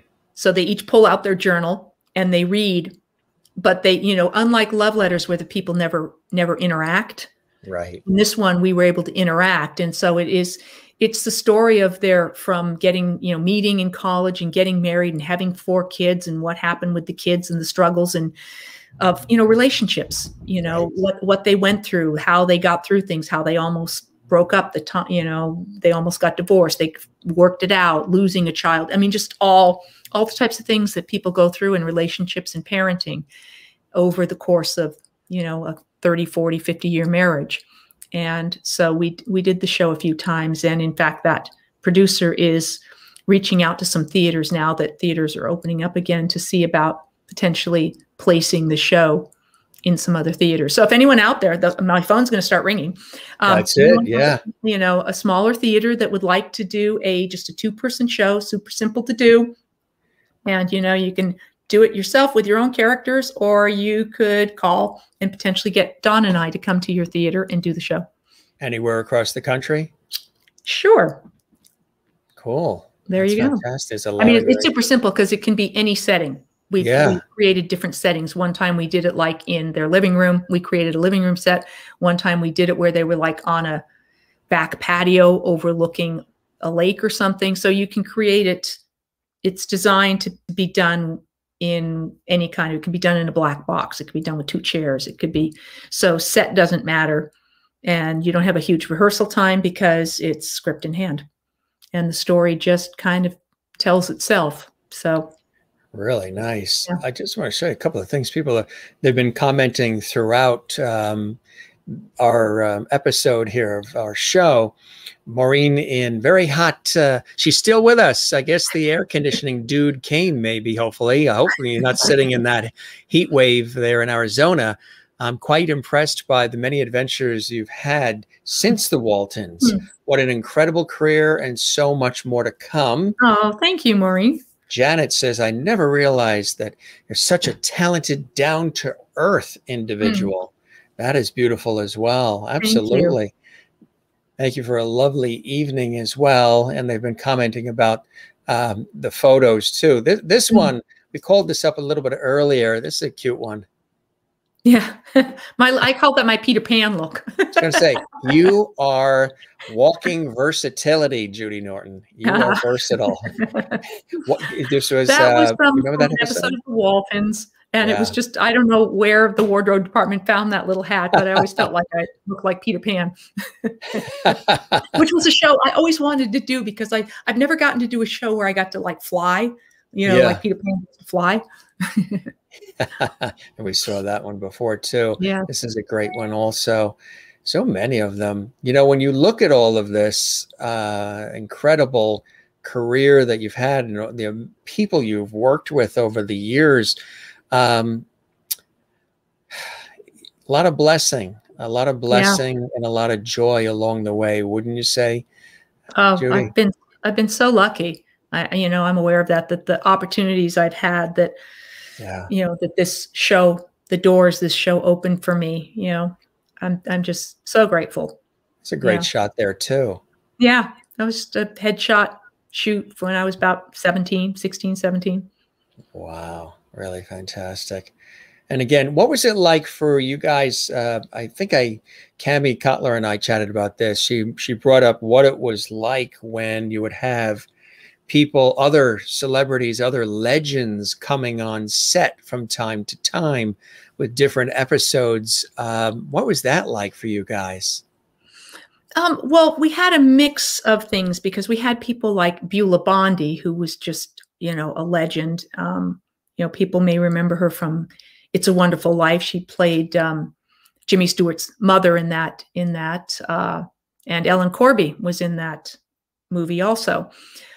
And so someone like that who we knew had just this amazing career, I think we were respectful and uh, maybe didn't goof around so much when it was someone like that. Not that we goofed around a lot, but you know, you were, I think, more aware of just being respectful when we had someone like that or a Gene Marsh. Um, but a lot of the people that worked on our show became really big stars later. So, I mean, someone like John Ritter, we loved working with him, but he wasn't the megastar that he became after the Waltons, after he did Three's Company and started doing movies and stuff. You know, he was like John Ritter, a fabulous actor and a really fun guy to have yeah. on set. Yeah. Uh, Ron Howard, when he did, uh, you know, an episode I mean, he'd already done the Andy Griffith show, but it was before Happy Days and before he started directing. And so it's like I was familiar with him and I thought it was a big deal that he was coming to do the Walton. So that was really cool. Um, but like Sissy Spacek, when she did the show, she was early in her career. So it wasn't, she wasn't Sissy Spacek already. Carrie, or, yeah. Yeah, or Jennifer Jason Lee, or, you know, um, so sometimes we caught people really on the on the ascent. You know, people that you know would probably go, Waltons, what was that? Who are you? you know? and I'm like, I worked with that person. you know, like, what? so when and where? Exactly. what network?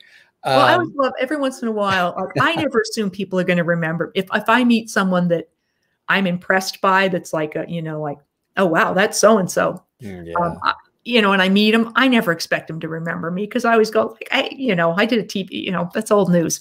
But like, I'll remember meeting someone like Isaac Hayes when I oh, when yeah. I first met Isaac. Isaac and I did. um It was a show called Dance Fever, and they'd have different celebrity oh, sure. judges. So yeah. Isaac and I Denny Denny Terrio was the host. Yeah, he yeah, was the host. Sure. So we were judges on Dance Fever, and then a, few years later, I was at I was. Uh, I was uh, someone who was going to be presenting an award at some music awards thing. So I'm sitting at this table and Isaac Hayes was sitting at the table behind me. And, and I'm like, oh, wow, there's Isaac Hayes. He won't remember me. So he, all of a sudden he like taps me on the shoulder goes, and he's like, hi, Isaac Hayes. We did Dance Fever together. You remember? I mean, I was completely blown away. I'm like, no, you're Isaac Hayes. I, you know, I'm Judy Norton. You know, of course I remember you, but you remember me. Wow. You know, I'm always so flattered if, if you know, if something like that happens. Or I met um, when I met some of the Happy Days guys. Um, we used to play on a baseball team. Uh, the Waltons had a baseball team, and I also used to play for KIIS Radio on their their they their radio station. Their DJs and whatnot had it had a team, and I used to play on their team. And so one time we were playing a game and we were playing against Happy Days. And I'd met some of the guys, but I hadn't met Henry Winkler. And so at one point, um, like when we were, I don't know, going out swapping from on field to the, you know, to off field, and and I was, I introduced him. I'm like, hi, you know, I'm Judy Norton, and you know, a really big fan, whatever. And he's like, oh, yeah. I mean, he was very polite. He was like, oh yeah, wow, wow, thank you very. And then and then it was like he did a double take and went, oh, oh, yes of course like you know like he like he knew who i was and i was just like really again very i'm always very flattered if someone's like oh yes i saw your show or i like your show. You know i mean i'm sure a lot of people have watched the waltons. Oh yeah. i just never think of people who i think are famous watching our show. Like they have any like no no no it's in a bubble. You know it's nobody watches the waltons who's famous. Right. but they did and they still do which is quite amazing. Um, when you look back at it, we're talking about some 50 years. Uh, somebody had a comment too I, uh, about a celebration, I think that happened. I recall y'all were ah. Virginia for the 40th celebration of the series. Any plans on going back to Virginia for a 50th? Um, well, next year will be the, the 50th of the series starting. Right. Um, this year is the 50th of the homecoming.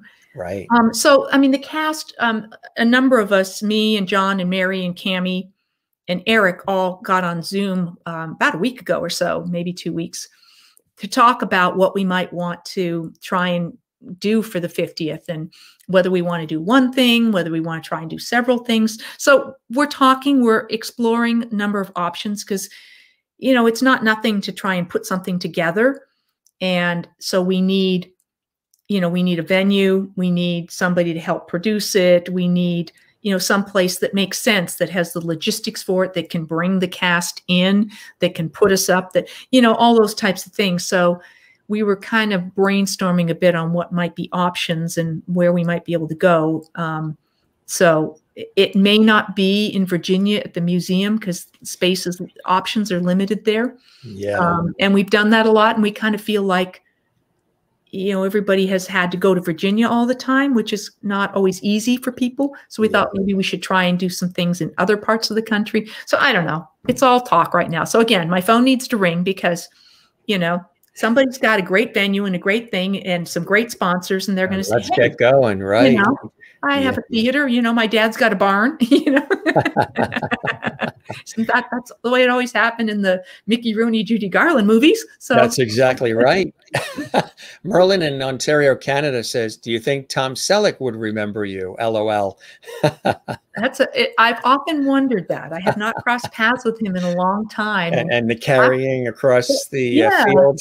After the Battle of the Network Stars, I remember when he was doing Magnum PI, there was a point where um, I went over to Hawaii for something and they were filming. And I remember I went on his set, you know, and, and, and visited him. And I mean, but this was not too long after battle. So, you know, he, gave me you know passes to get on the you know on the on the set and stuff like that. So at that point he still remembered me. You know i've always been kind of curious now. I'm like i, I need to dig him up and see if it's like you carried me off the field. I thought it, i thought we had a moment. I thought that was uh, and, the, the network captured it uh, yeah that's right. I can show you footage. It's me it's, honest.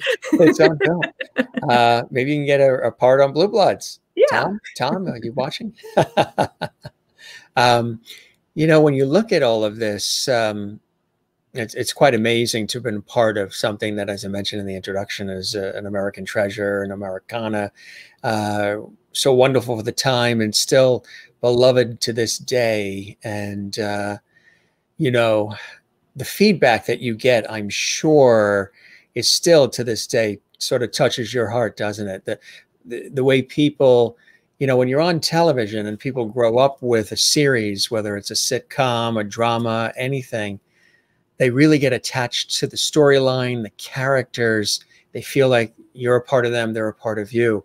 So even though it's an acting role or it's a, you know, camera person's role, lighting director, whatever it is, the body of work and the sum of all those parts creates, you know, magical moments that really go deep beyond just the acting and, you know, the production part of it, the, the, the work. Um, for you, when you hear these stories and letters and somebody bumps into you in the supermarket, oh my God, I have to tell you what it meant to me, uh, must really touch you uh, deeply, huh? Yeah, we've heard amazing stories over the years. When we were first doing the series, because it wasn't a live show, right. we didn't have interaction with the audience at the time. Uh, so we didn't originally know what kind of impact it was having. If people liked the show, didn't like the show, people were clearly watching it, but we didn't know what they thought of it beyond they liked the show enough to watch it.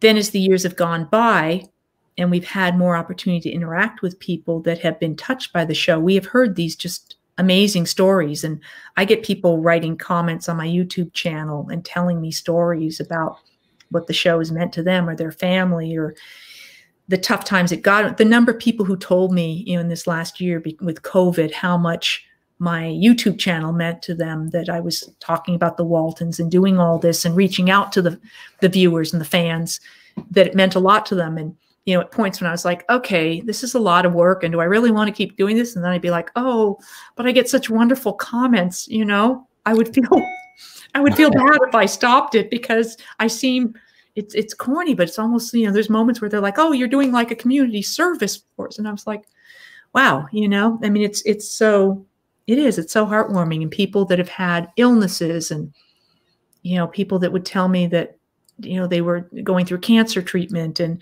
yeah. when they were when they were having their chemo and all they could do was you know sit and they would watch the waltons because it made them feel better i mean come on you know it's it, all of a sudden it's you know we thought oh we're doing a fun little thing you know i enjoy what i'm doing we're we're making up stories and we're playing make believe and people are watching you know that that's kind of what we do it can seem like our business is so frivolous and and yet all of a sudden it doesn't seem so frivolous. Right, exactly. Right. You know, and we, something that has stood the test of time like this and they still feel the way that they do them. Some can probably reenact scenes in front of you too. I remember when the and then the and then the which is amazing, right? yeah, they know it better than I do. I they mean, jog the memory, right? you know, they'll comment. I mean, I've been watching more of the episodes because of you know doing the YouTube stuff. I've had to watch the episodes to be able to talk about them and yet then they'll they'll comment about something or they'll correct something I got wrong. it's like, oh, yeah, you're right. I got that wrong. I don't remember all 220 something episodes. And these people have, so many of them have been watching them year after year and they've watched these, you know, episodes 10, 20, 30 times. And, you know, some of them I'm not sure I've ever seen because I maybe didn't originally see them and then it was off the air and yeah. you couldn't record stuff back then. And, then when it was on, it was on a channel I didn't get, and right. so it's yeah. So what I'm was it like when? Uh, yeah, you're getting a chance to see them again. Like, gee, I was like, wow, this is pretty good. pretty good in that scene. they they wrote some good stories. They had we had some good actors. I was on the ladder. They didn't. I didn't want to be on that ladder, but yeah. boy, I I yeah. mastered that ladder. yeah, I mean, that's sometimes I'll watch a scene and go, oh, I remember when I first watched this episode you know how much I, I I watched scene that I didn't oh God, I hate, I can't even watch that. Oh, that's so bad.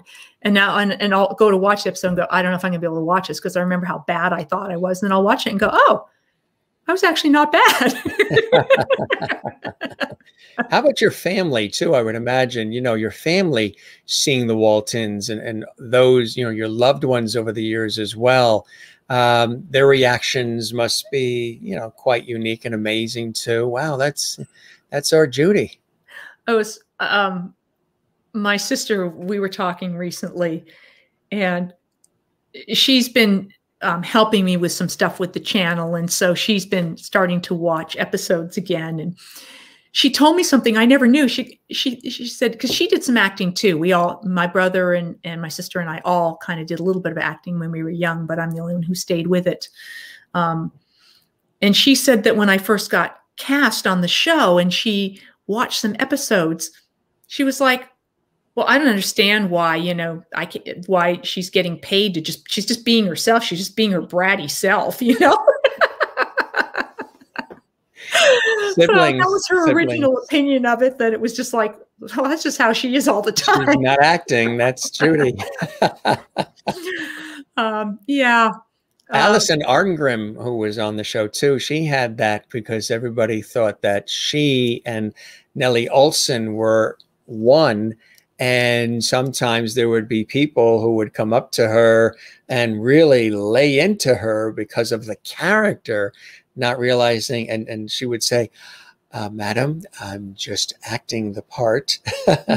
I'm not Nellie, only on set.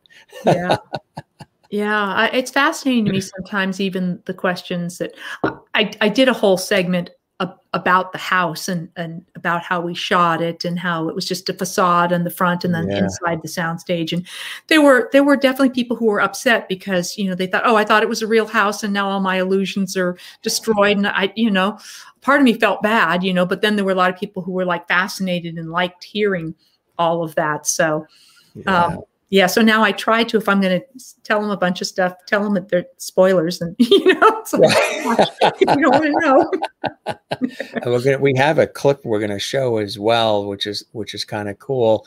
Um, what are some of the things you have? You're mentioning a little bit in the beginning. Some of the things that you're working on that are coming up. I would imagine again you're waiting for things to sort of open. You know, studios sort of things are slowly coming back here and there. Um, would you ever write a book?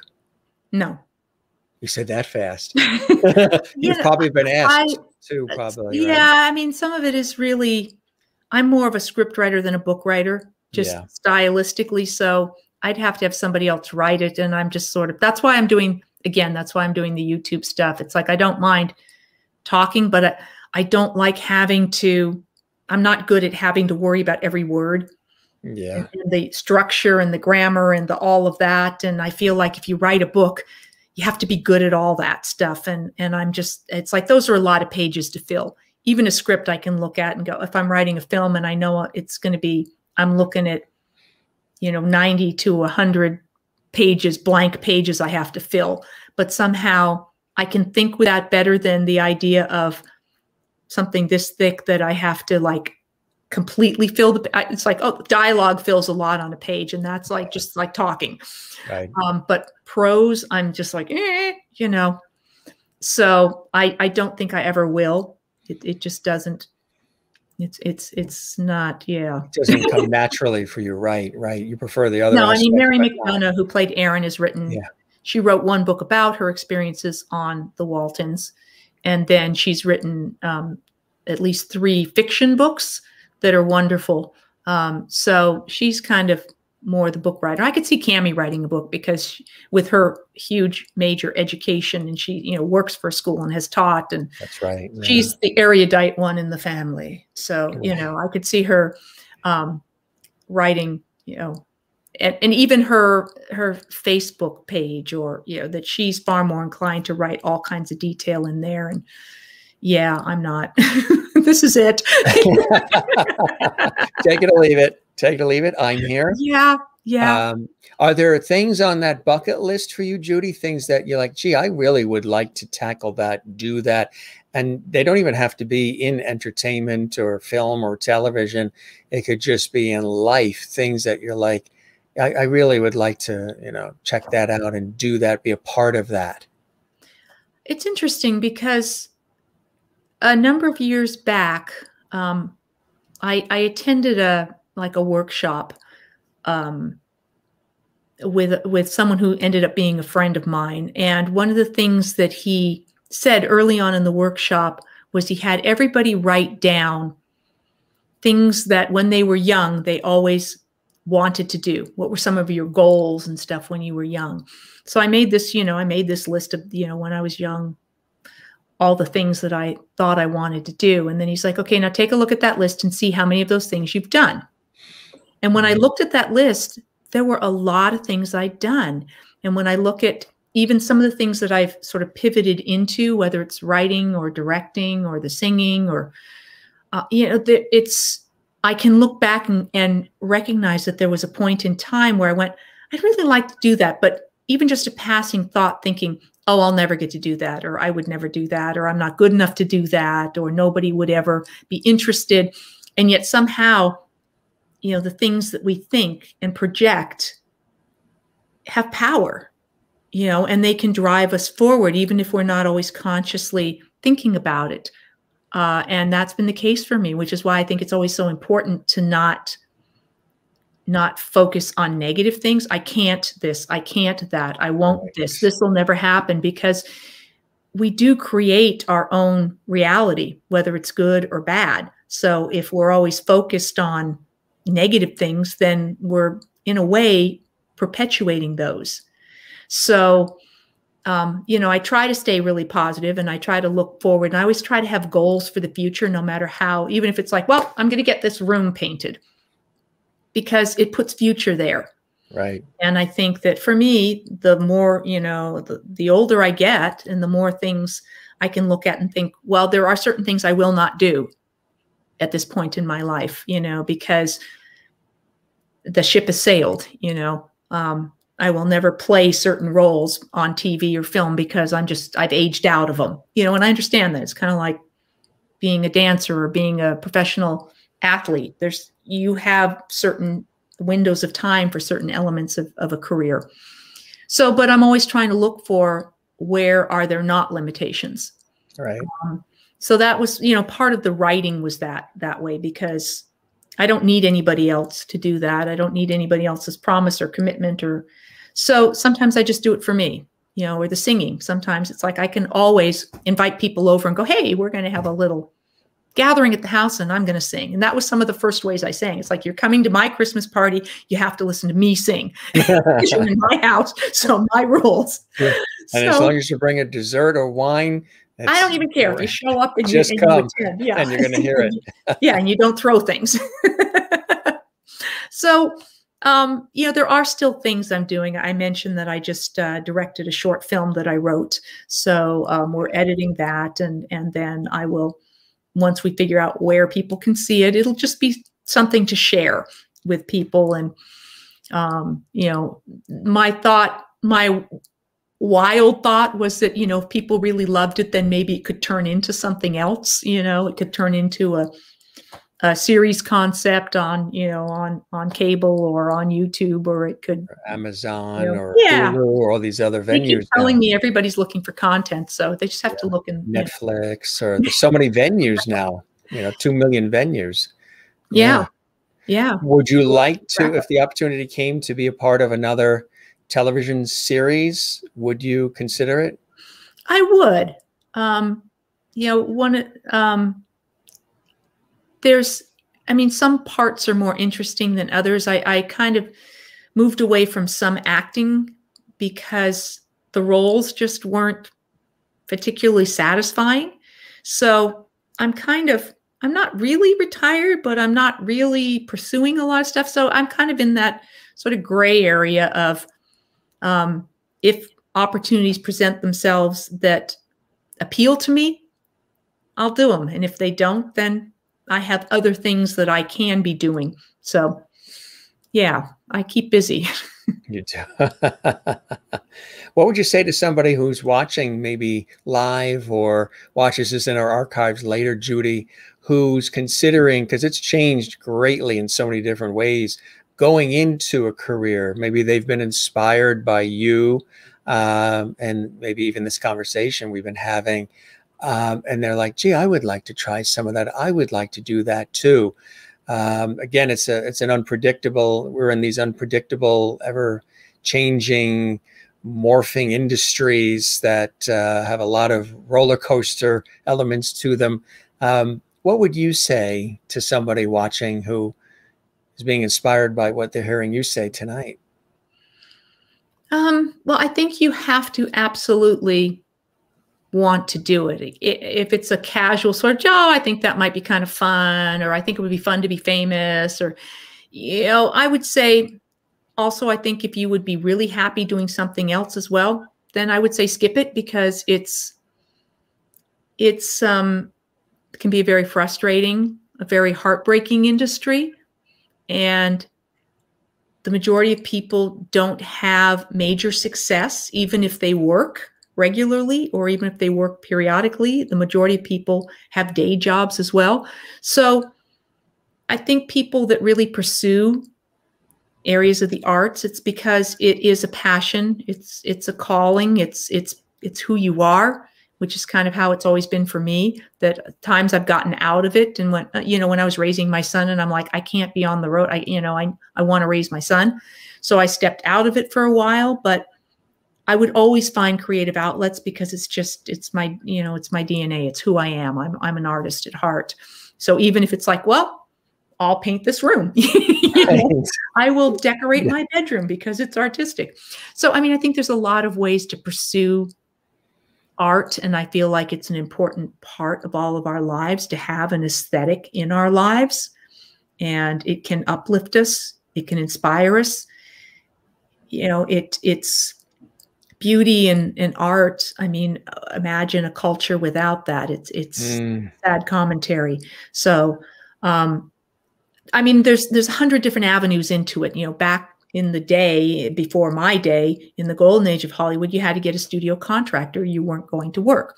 Then things opened up and it was the era of the independent but you know it was still through studios. Then the whole independent world anybody with you know hello i'm going to go shoot you know i'm going to yeah. go shoot a film Right. Um, somebody once said, which is very true, just because everyone can shoot a film doesn't mean they should. Yeah, right. right. I agree. You know, so there's a lot of stuff out there. Doesn't yeah, mean it's all good. You got to sift um, through it. Yeah. It does mean that people can they can explore, they can learn, and there's all kinds of avenues online and things you can learn there.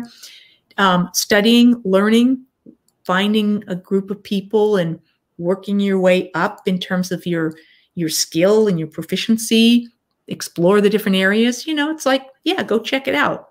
If if you think you would enjoy it or it's something you're really drawn to. I couldn't I couldn't begin to tell you how to get into the industry these days. I am so far out of the loop, you know. I'm like, I'm me.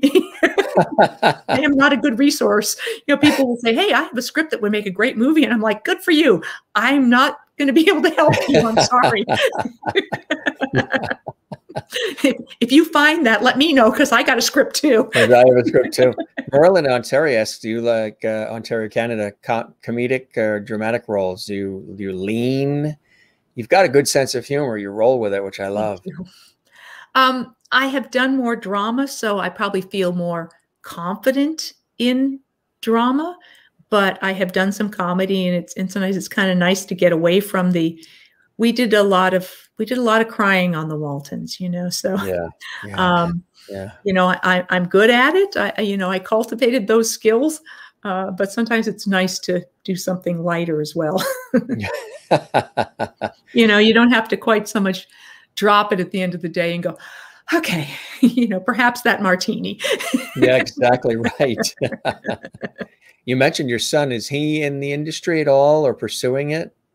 Um, yes and no i mean he is he's he's interested more behind the scenes yeah. um, as i mentioned he does all the editing for my youtube channel uh, at the moment and and some other he's so he's still in school but he's interested in various different behind the scenes aspects of it um, so what what avenue and he's he is very he, he also you know sings plays guitar that kind of thing at one point he was interested in pursuing music but decided you know to switch. So he's still kind of finding his way. But has, was, has he been tickled that you were Mary Ellen Walton on the Waltons, or is he? That's just my mom. Um. Well, when he, I mean, it, it, it's interesting at what age they start putting it together. Like when he right. was little, um, I would watch the Waltons sometimes, and he got to know the music. Yeah. So when you hear the theme song, you go, "Oh, John Boy," you know. Right. And then he got used to the fact that um, because he was born in Canada when I was up there, and I was doing a lot of uh, just guest spots on different shows and things up in Canada while I lived there. So he would see me on different things on TV um, when he was little. And so when he'd see somebody on TV that looks anything like me, he'd go, "Oh, is that you?" you know, he just thought I was always on TV. Um, and then I think he started figuring out when he saw people recognize me and be impressed. Then he started figuring out that he could play that card. Oh, well, my mom was on the Waltons. my mom was on that show and yeah, yeah. with those people. And yeah, but mostly, yeah. I mean, I think it's more, you know, I, he's been, he's, he never really watched the Waltons very much. So when he started doing, you know, helping me with the YouTube channel, he had to see more of it and watch more of it and get more familiar with it. So I think he has appreciated it more uh, since since that point that he's kind of gotten more familiar. So that's kind of nice. But still, I'm mostly mom. your mom, your mom. yeah, yeah. He's not very impressed by me in general. Yeah. Eat your vegetables. uh, uh, what are some of the other uh, blessings uh, and joys in your life that keep you uh, wanting to do this work and, and uh, inspire us in the way that you do, Judy? Uh, well, one of the things that I found when I started moving a bit more behind the scenes, because initially I went to Canada because I was working with a theater company as a writer and director, as an artistic director. And when I started doing that, I thought that would be tough for me to not be the one on stage. Uh, but the very first time I wrote a show that I, you know, I co-wrote and then was involved in the directing of it, and I sat there at opening night in the audience, and it was a musical comedy. And people laughed. And I was uh, astonished to be like, oh, I was so thrilled. It's like, I wrote that. And people are laughing, you know, and they're enjoying this. And so it was like a whole new kind of world for me. And starting to work on that side and having the opportunity to basically hire people. I know so many talented people. And so I love directing and the little bit of producing I've done. Um, I don't like, you know, there's a lot of elements of producing I don't like, but what I love about that side of it is being able to tell an actor they have a job, you know, hey, come do something for me, come work, you know, because I know how much it always meant to me to have somebody to get that call. So to be able to say to people that I think are really talented that should be working all the time yeah. and like, you know, why has somebody not recognized the talent of this person or even somebody that does work a lot and still go, hey, come, let's play. Right. You know, is just if I could do that all the time, hire actors. come together and work with them and you know that that camaraderie that forming of a team and a bond that always happens when you do a play or or do a film or do a TV show. It's just there's to me these artists bond in a way that I've never experienced in any other arena. You know, I mean, maybe because you have to trust each other so much and you have to be so willing to be open and vulnerable, and your emotions have to be on display and all of those sorts of things that that make people talented performers you know there's a sensitivity and and and and we we protect each other and it's a family and you and you have to rely on each other to get the work done. You have to trust each other in those vulnerable moments when you're doing tough scenes and, and things like that or on stage when something goes wrong and you you have to kind of make it make it work. So and i love crafting. I love taking something that i created as a concept and or even someone else's work and directing it and bringing it to life and and just seeing all of that happen. So that's what continues to inspire me. Mm, beautifully said beautifully said. Uh, you know you also inspired somebody else who's uh, with us this evening. Uh, Mr. George Burns is in the house with his cigar, and he's thoroughly enjoyed. Uh, oh, good. So glad. I don't know if you ever got a chance to meet or work with him. I was some um, part of a. I, I, I don't know that I actually got to meet him, but um, years ago, and it hangs on my wall in my house. Um, there was a CBS 50th anniversary special that was done for the first 50 years of CBS, and they pulled together all of the actors from CBS shows for the first 50 years and they did a, like a two hour special and then they did a photo shoot. So I have this photo that hangs on my wall of these, just all these CBS stars. And it's amazing. And George Burns is front and center. So he was there. I was in a photo shoot. I'm in a picture with him. He's With like George you know. That Yeah. was amazing. I believe that they have um There's a little YouTube clip up about I- Yes. someone sent me recently. Yeah, yeah, there's there's Yeah. um and it pans across CBS um Television City. Yeah. And they just Yes. go down the row of Of my neighbor, my neighbor who's who works in in in in the industry, he's like all of a sudden he sent me, he's like, Hey, look at this. I was I was just watching this because he's a total movie buff. And he's like, and I went, That's that's that's Judy. She lives across the street from me, you know. right. Yeah, when they did that pan, they did 50th and then I think they did a 75th anniversary of CBS. But that when they had everybody on the balcony Yeah. there wrapped around Television City, Mary Tyler Moore, Dick Van Dyke, Walter Cronkite, every I mean, it was just Yep. incredible. It was decades of of talent and uh I miss that stuff. You know what I mean? Yeah. There was just something about the grandeur and just uh, the, just the feeling of all of that that I don't know. Things are very splintered now and things are very, I don't know if they could ever pull that kind of thing together anymore. That was a very special, you were on television on a beloved series at a very special time for television. Yeah. Yeah. Yeah, and uh, we're happy that you were. uh, Anne says, "Thank you, Judy, for a wonderful evening." Oh, my pleasure. and Linda Odell, whose uh, birthday is today, I see. Happy oh, birthday, happy Linda! birthday, Linda. Judy Norton and Jim Masters wish you happy birthday, Linda. Thank you, Judy, for sharing your life story with uh, with all of us, and um, really, really beautiful. Um, I think we talked about this a little bit. She wanted to know what was your. Do you have a episode that's your personal favorite? Um, would the wedding one be? No, I mean probably more. I'd say maybe the Easter story. Yeah, Yeah. yeah. Don't go away, anybody, because we have a special video that uh, Judy made, which actually takes us on a tour of the house uh, where Walton's was, uh, well, the house that was used, and really, really cool. That must have been fun doing that, huh? Yeah. Bringing people back. Uh, JMS, by the way, your talent attracts the best talent. We love it. We're so grateful you decided to bring these wonderful, gifted people for us to get to know. Oh, my pleasure. I think on our show, we get a chance. Uh, you may have known of Judy's talent and her work and her spirit and her passion, but now you know a little bit more about the person. So next time you see something Judy's in, or you hear her singing, or there's a show or something, you'll have a deeper appreciation for Judy Norton the person. Maureen in Arizona, who did post earlier, the AC dude did show up. The temperature has dropped down to 80 in her house Oh, in good. Arizona. Um, Yay. yeah, thank God.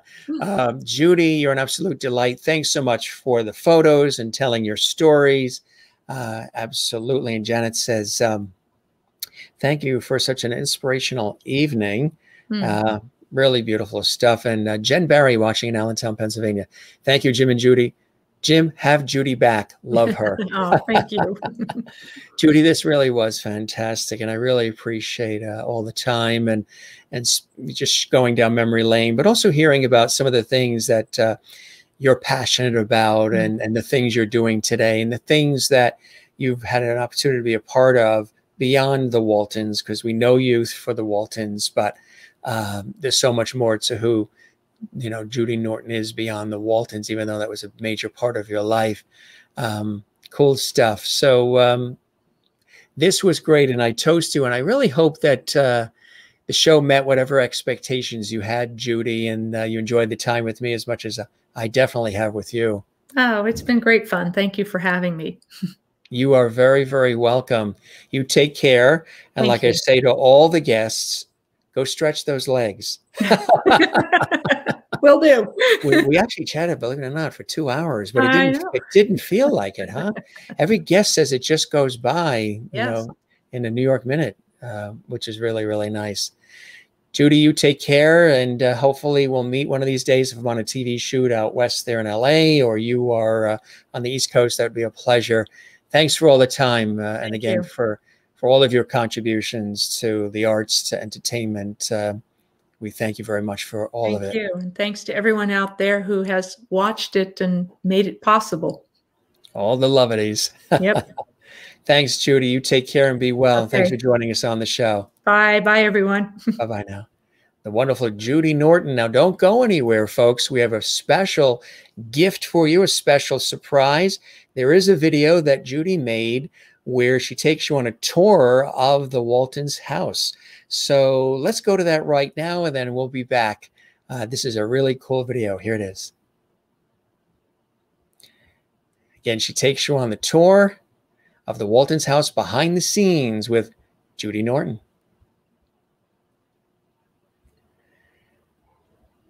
I get asked a lot about the Walton house. So today I thought I'd take you behind the scenes of the Walton house both the interior of the house and the exterior of the house. The exterior of the house was on the back lot of Warner Brothers Studios in Burbank, California. And it was really just a facade. There was a front, there were sides, and not a complete back. There were a couple of actual workable spaces inside. Uh, when you went in the house from the back porch, where you actually saw that there was sort of a root cellar there too. That wasn't really a practical root cellar. You couldn't actually go down inside it. But that room, if you went in the back door of the house, the space there led into what became our makeup room when we were on the back lot of the studio. So that was where every morning or whatever time the actors came in, when we were called to get our hair and makeup done, we would go into that room, and our hair and makeup people were all set up with their tables and lights and whatnot in there.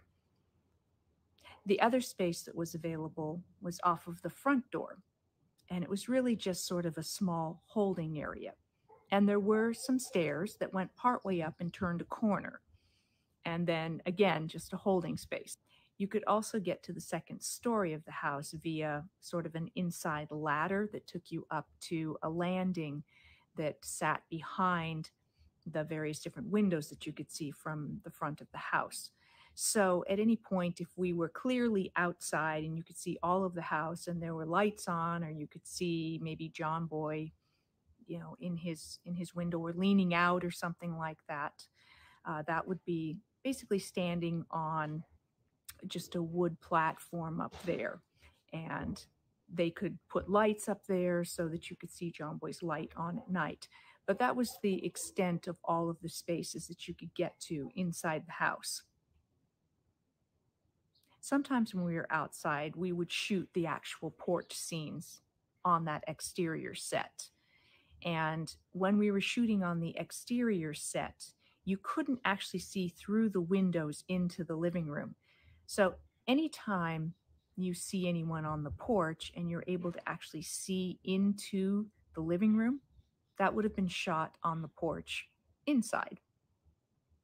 All of the interiors of the Walton house were all on stage 26 at Warner Brothers Studios.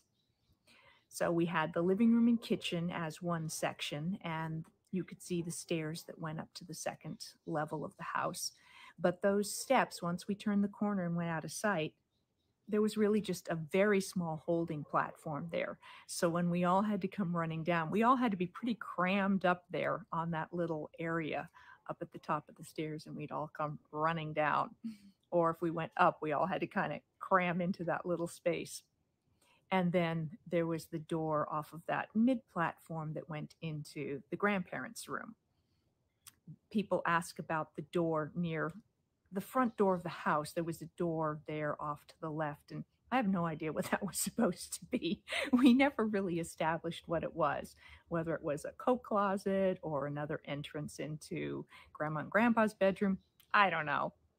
Uh, there was also another door in the kitchen, uh, in between the stove and where the sink and counter was off to the left that again we never established what it was probably some sort of utility closet or pantry type space but what was really out there you'd go out that door and there was a space on the set where the property department would have a working kitchen where all that food that you saw us eat, they would prepare in that kitchen and then bring it through that door to the table. And then, of course, there was the back porch area that where we exited to leave the house if we were going to be going out the back porch. All of the bedrooms were on another part of stage 26. So John and Olivia's room also doubled as the girls' room. All they did was change the furniture. And then there was the boys' room and there was John Boy's room. So there were actually only three bedrooms that we used that became four bedrooms. And then there was a little bit of um, up at the top of the stairs you could go down and around a corner just a bit. Again, small holding space. And then what was sort of the access to the attic, which, if that was ever used, would have been a separate set someplace on stage 26. The other things that were on stage 26 were the interior of Ike Godsey's store. So that was always fun. We knew when we were going to be shooting in Ike Godsey's store that um, it would, all the props and everything would be put in place. And the candy counter would be stocked. So I remember when I was young, it was like, oh, we're filming in Godsey's store today. So there will be like fresh candy in there. And I go in and I'm sure I wasn't the only one who went in and sampled the candies in in Godsey's store on the counter there. Also on stage 26 would be the interior of the Baldwin's house. So their parlor that you saw all the time, and sometimes you saw the room where the recipe still was. So those were sets that um, they would put together on stage 26 when those sets were going to be used. It was a pretty big stage. So sometimes when there was another set that only got used once for some other purpose, they would build it right there on our stage. And then it would be there for the duration of that episode. And then it would be torn down and repurposed for something else. Uh, none of these spaces on stage 26 had ceilings to them. Virtually all the walls were movable. So if the camera needed a different angle, they could take one of those walls out and set up the camera from that angle. Everything had lights rigged from above and it was very tall in there. So they had uh, lots of catwalks and things up there, and they could move lights all around, drop down rigging all around the edges of the of the given space, and light from there. Or they would just move their big lights around on the big stands that they were on and light in that way. So that's a sneak peek behind the Walton House, both the interior and the exterior. Um, so hope you enjoyed this. Please subscribe if you're enjoying the videos, and I'll be back with more behind the scenes of the Waltons.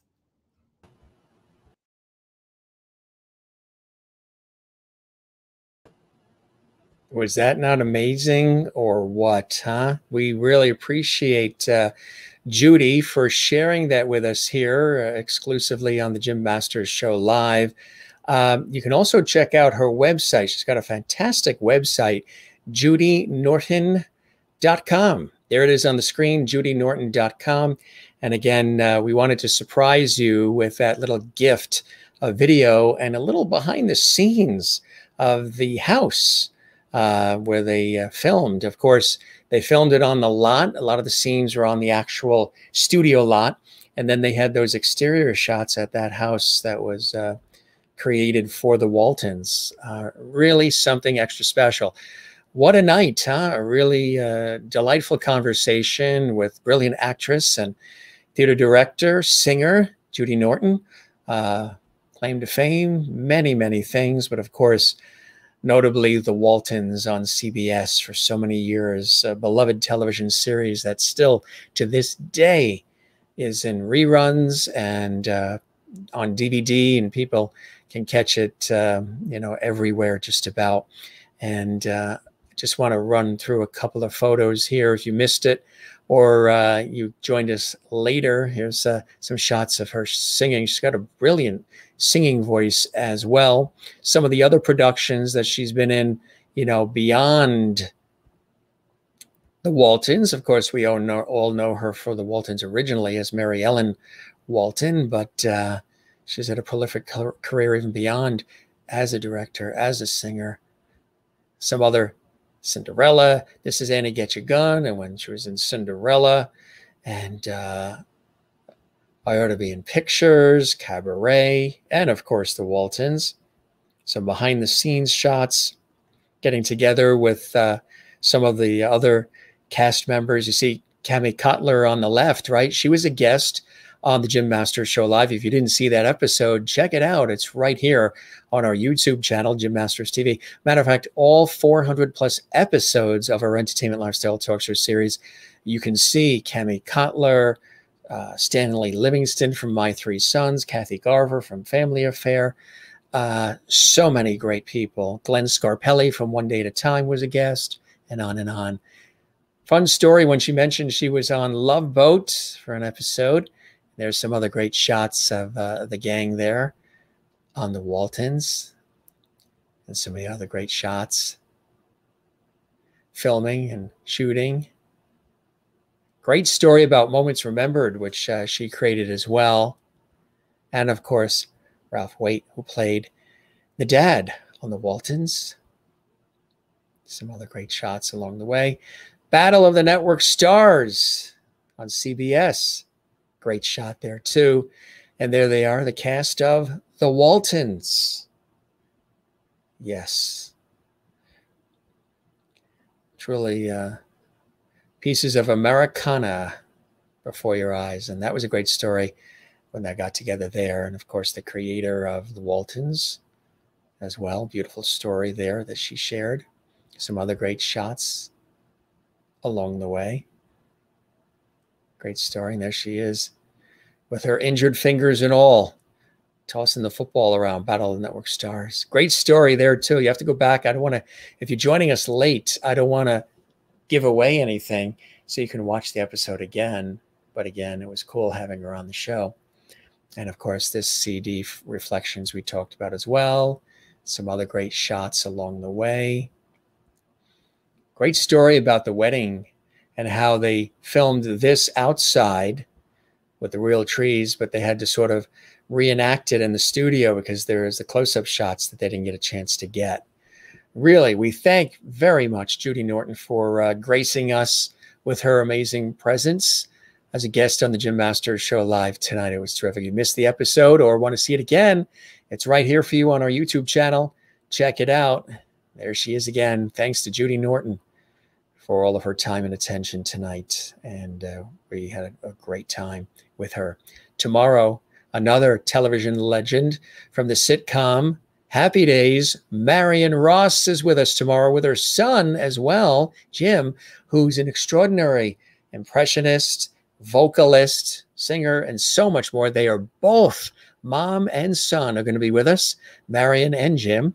Marion Ross, of course, legendary uh, television veteran, uh, known for many, many different things that she's performed in, but of course, most notably as Mrs. Cunningham in the uh, 1970s sitcom on ABC television network, Happy Days with Tom Bosley and Don Most and uh, Erin Moriarty and uh, all the rest. Um, Ron Howard and um, oh boy, so many people.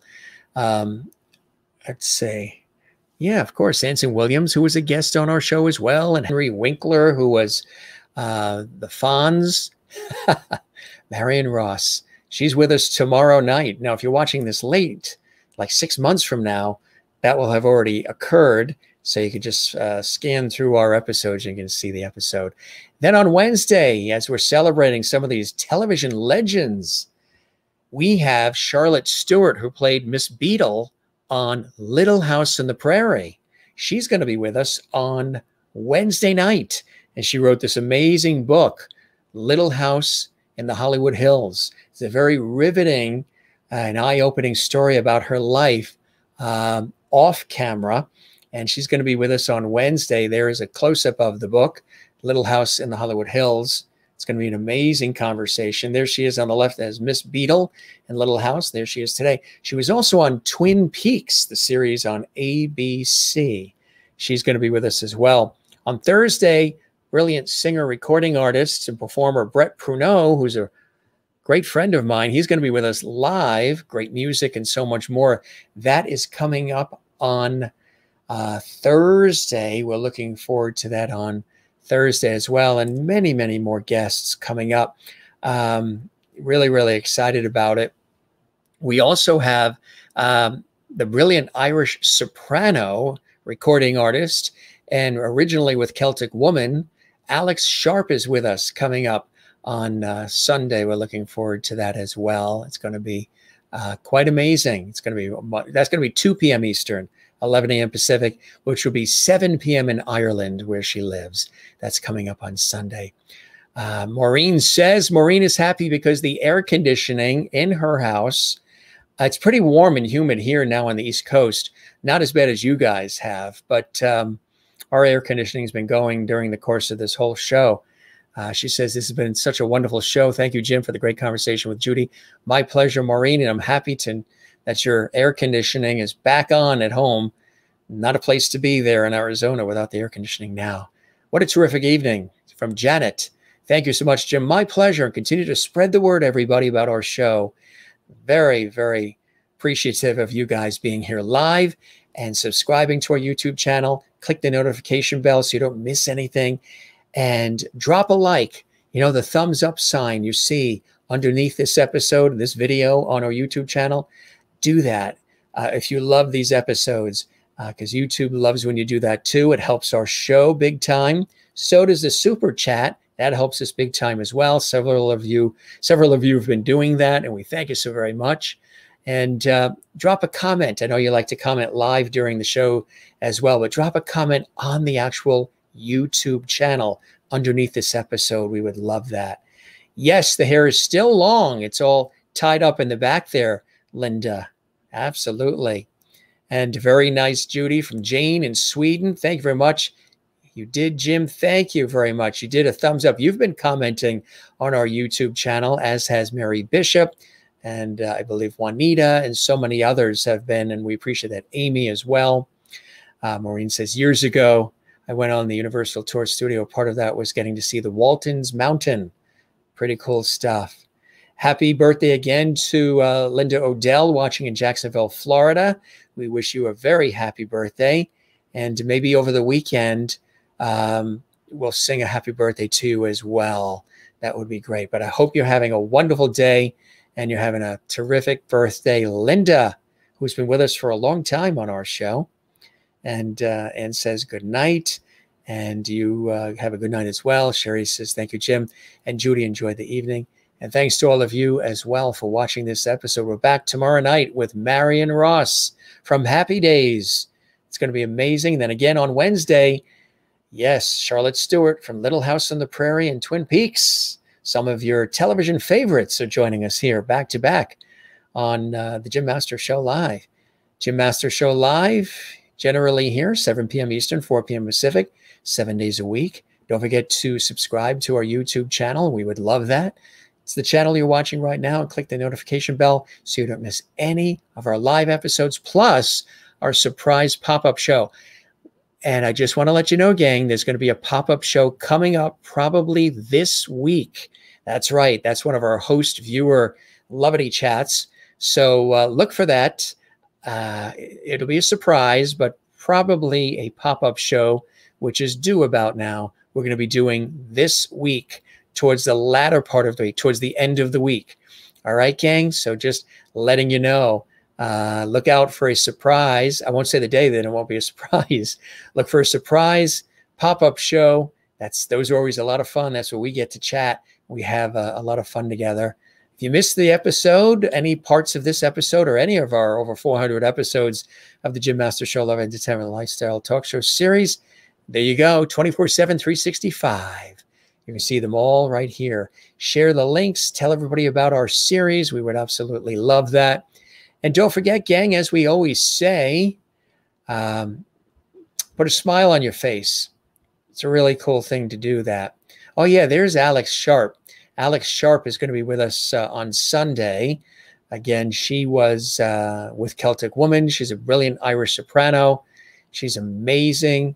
And there she is again. You could see that on our YouTube channel, uh, the link for that. It's going to be uh, really, really cool. And so many other guests we have coming up. Uh, we're so looking forward to uh, to all the guests. We have brilliant musician and uh, music journalist Paul Zoll is going to be with us on Friday. He's going to perform live. Again, he's a brilliant songwriter, musician, guitarist, and he's also senior editor of Songwriter Magazine. He's with us this Friday. That's going to be real cool. And as I mentioned, recording artist Brett Pruneau is with us on Thursday, and so many others. You can see them all on our YouTube channel. Uh, the previews for all of them are there for you right now. Don't forget to smile, gang, and don't forget to share the lovity. We say that on every episode of our series, and also find your Zen place. Mine is with loving family and friends, and tennis and cycling, which I love doing, writing, music. But I love the ocean, swimming, surfing, boogie boarding, sailing it, and uh, just being near the ocean. We live here just a couple blocks from the ocean on the coast in uh, the United States, between, uh, well, in the greater New York area, actually, along the southern New England coast between New York and Boston. And it's beautiful. And my work in television, radio, stage, and film, on air, on camera, behind the scenes, all of it is another Zen place for me as well. So find your Zen place.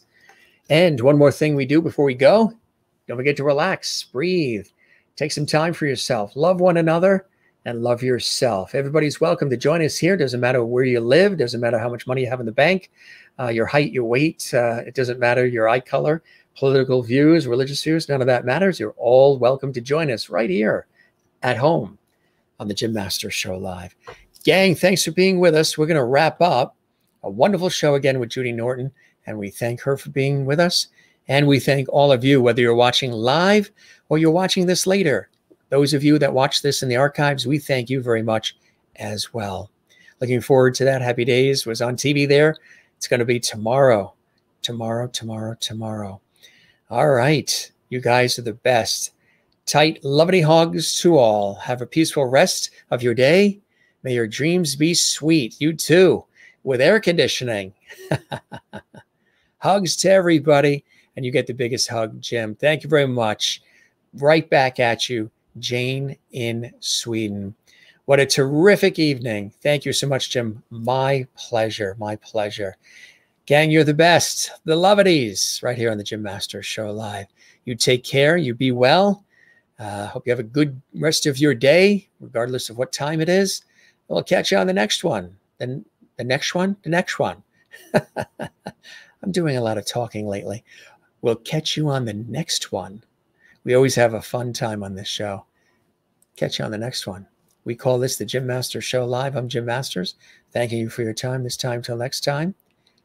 Yeah, good comments. Comments are still rolling in. Post some on our uh, YouTube channel too and give us a thumbs up. All right, gang, we're going to wrap up. We love you all. Take care. Have a good rest of your day and good night. We'll see you tomorrow. Marion Ross from Happy Days right here on the Jim Master Show Live. Good night.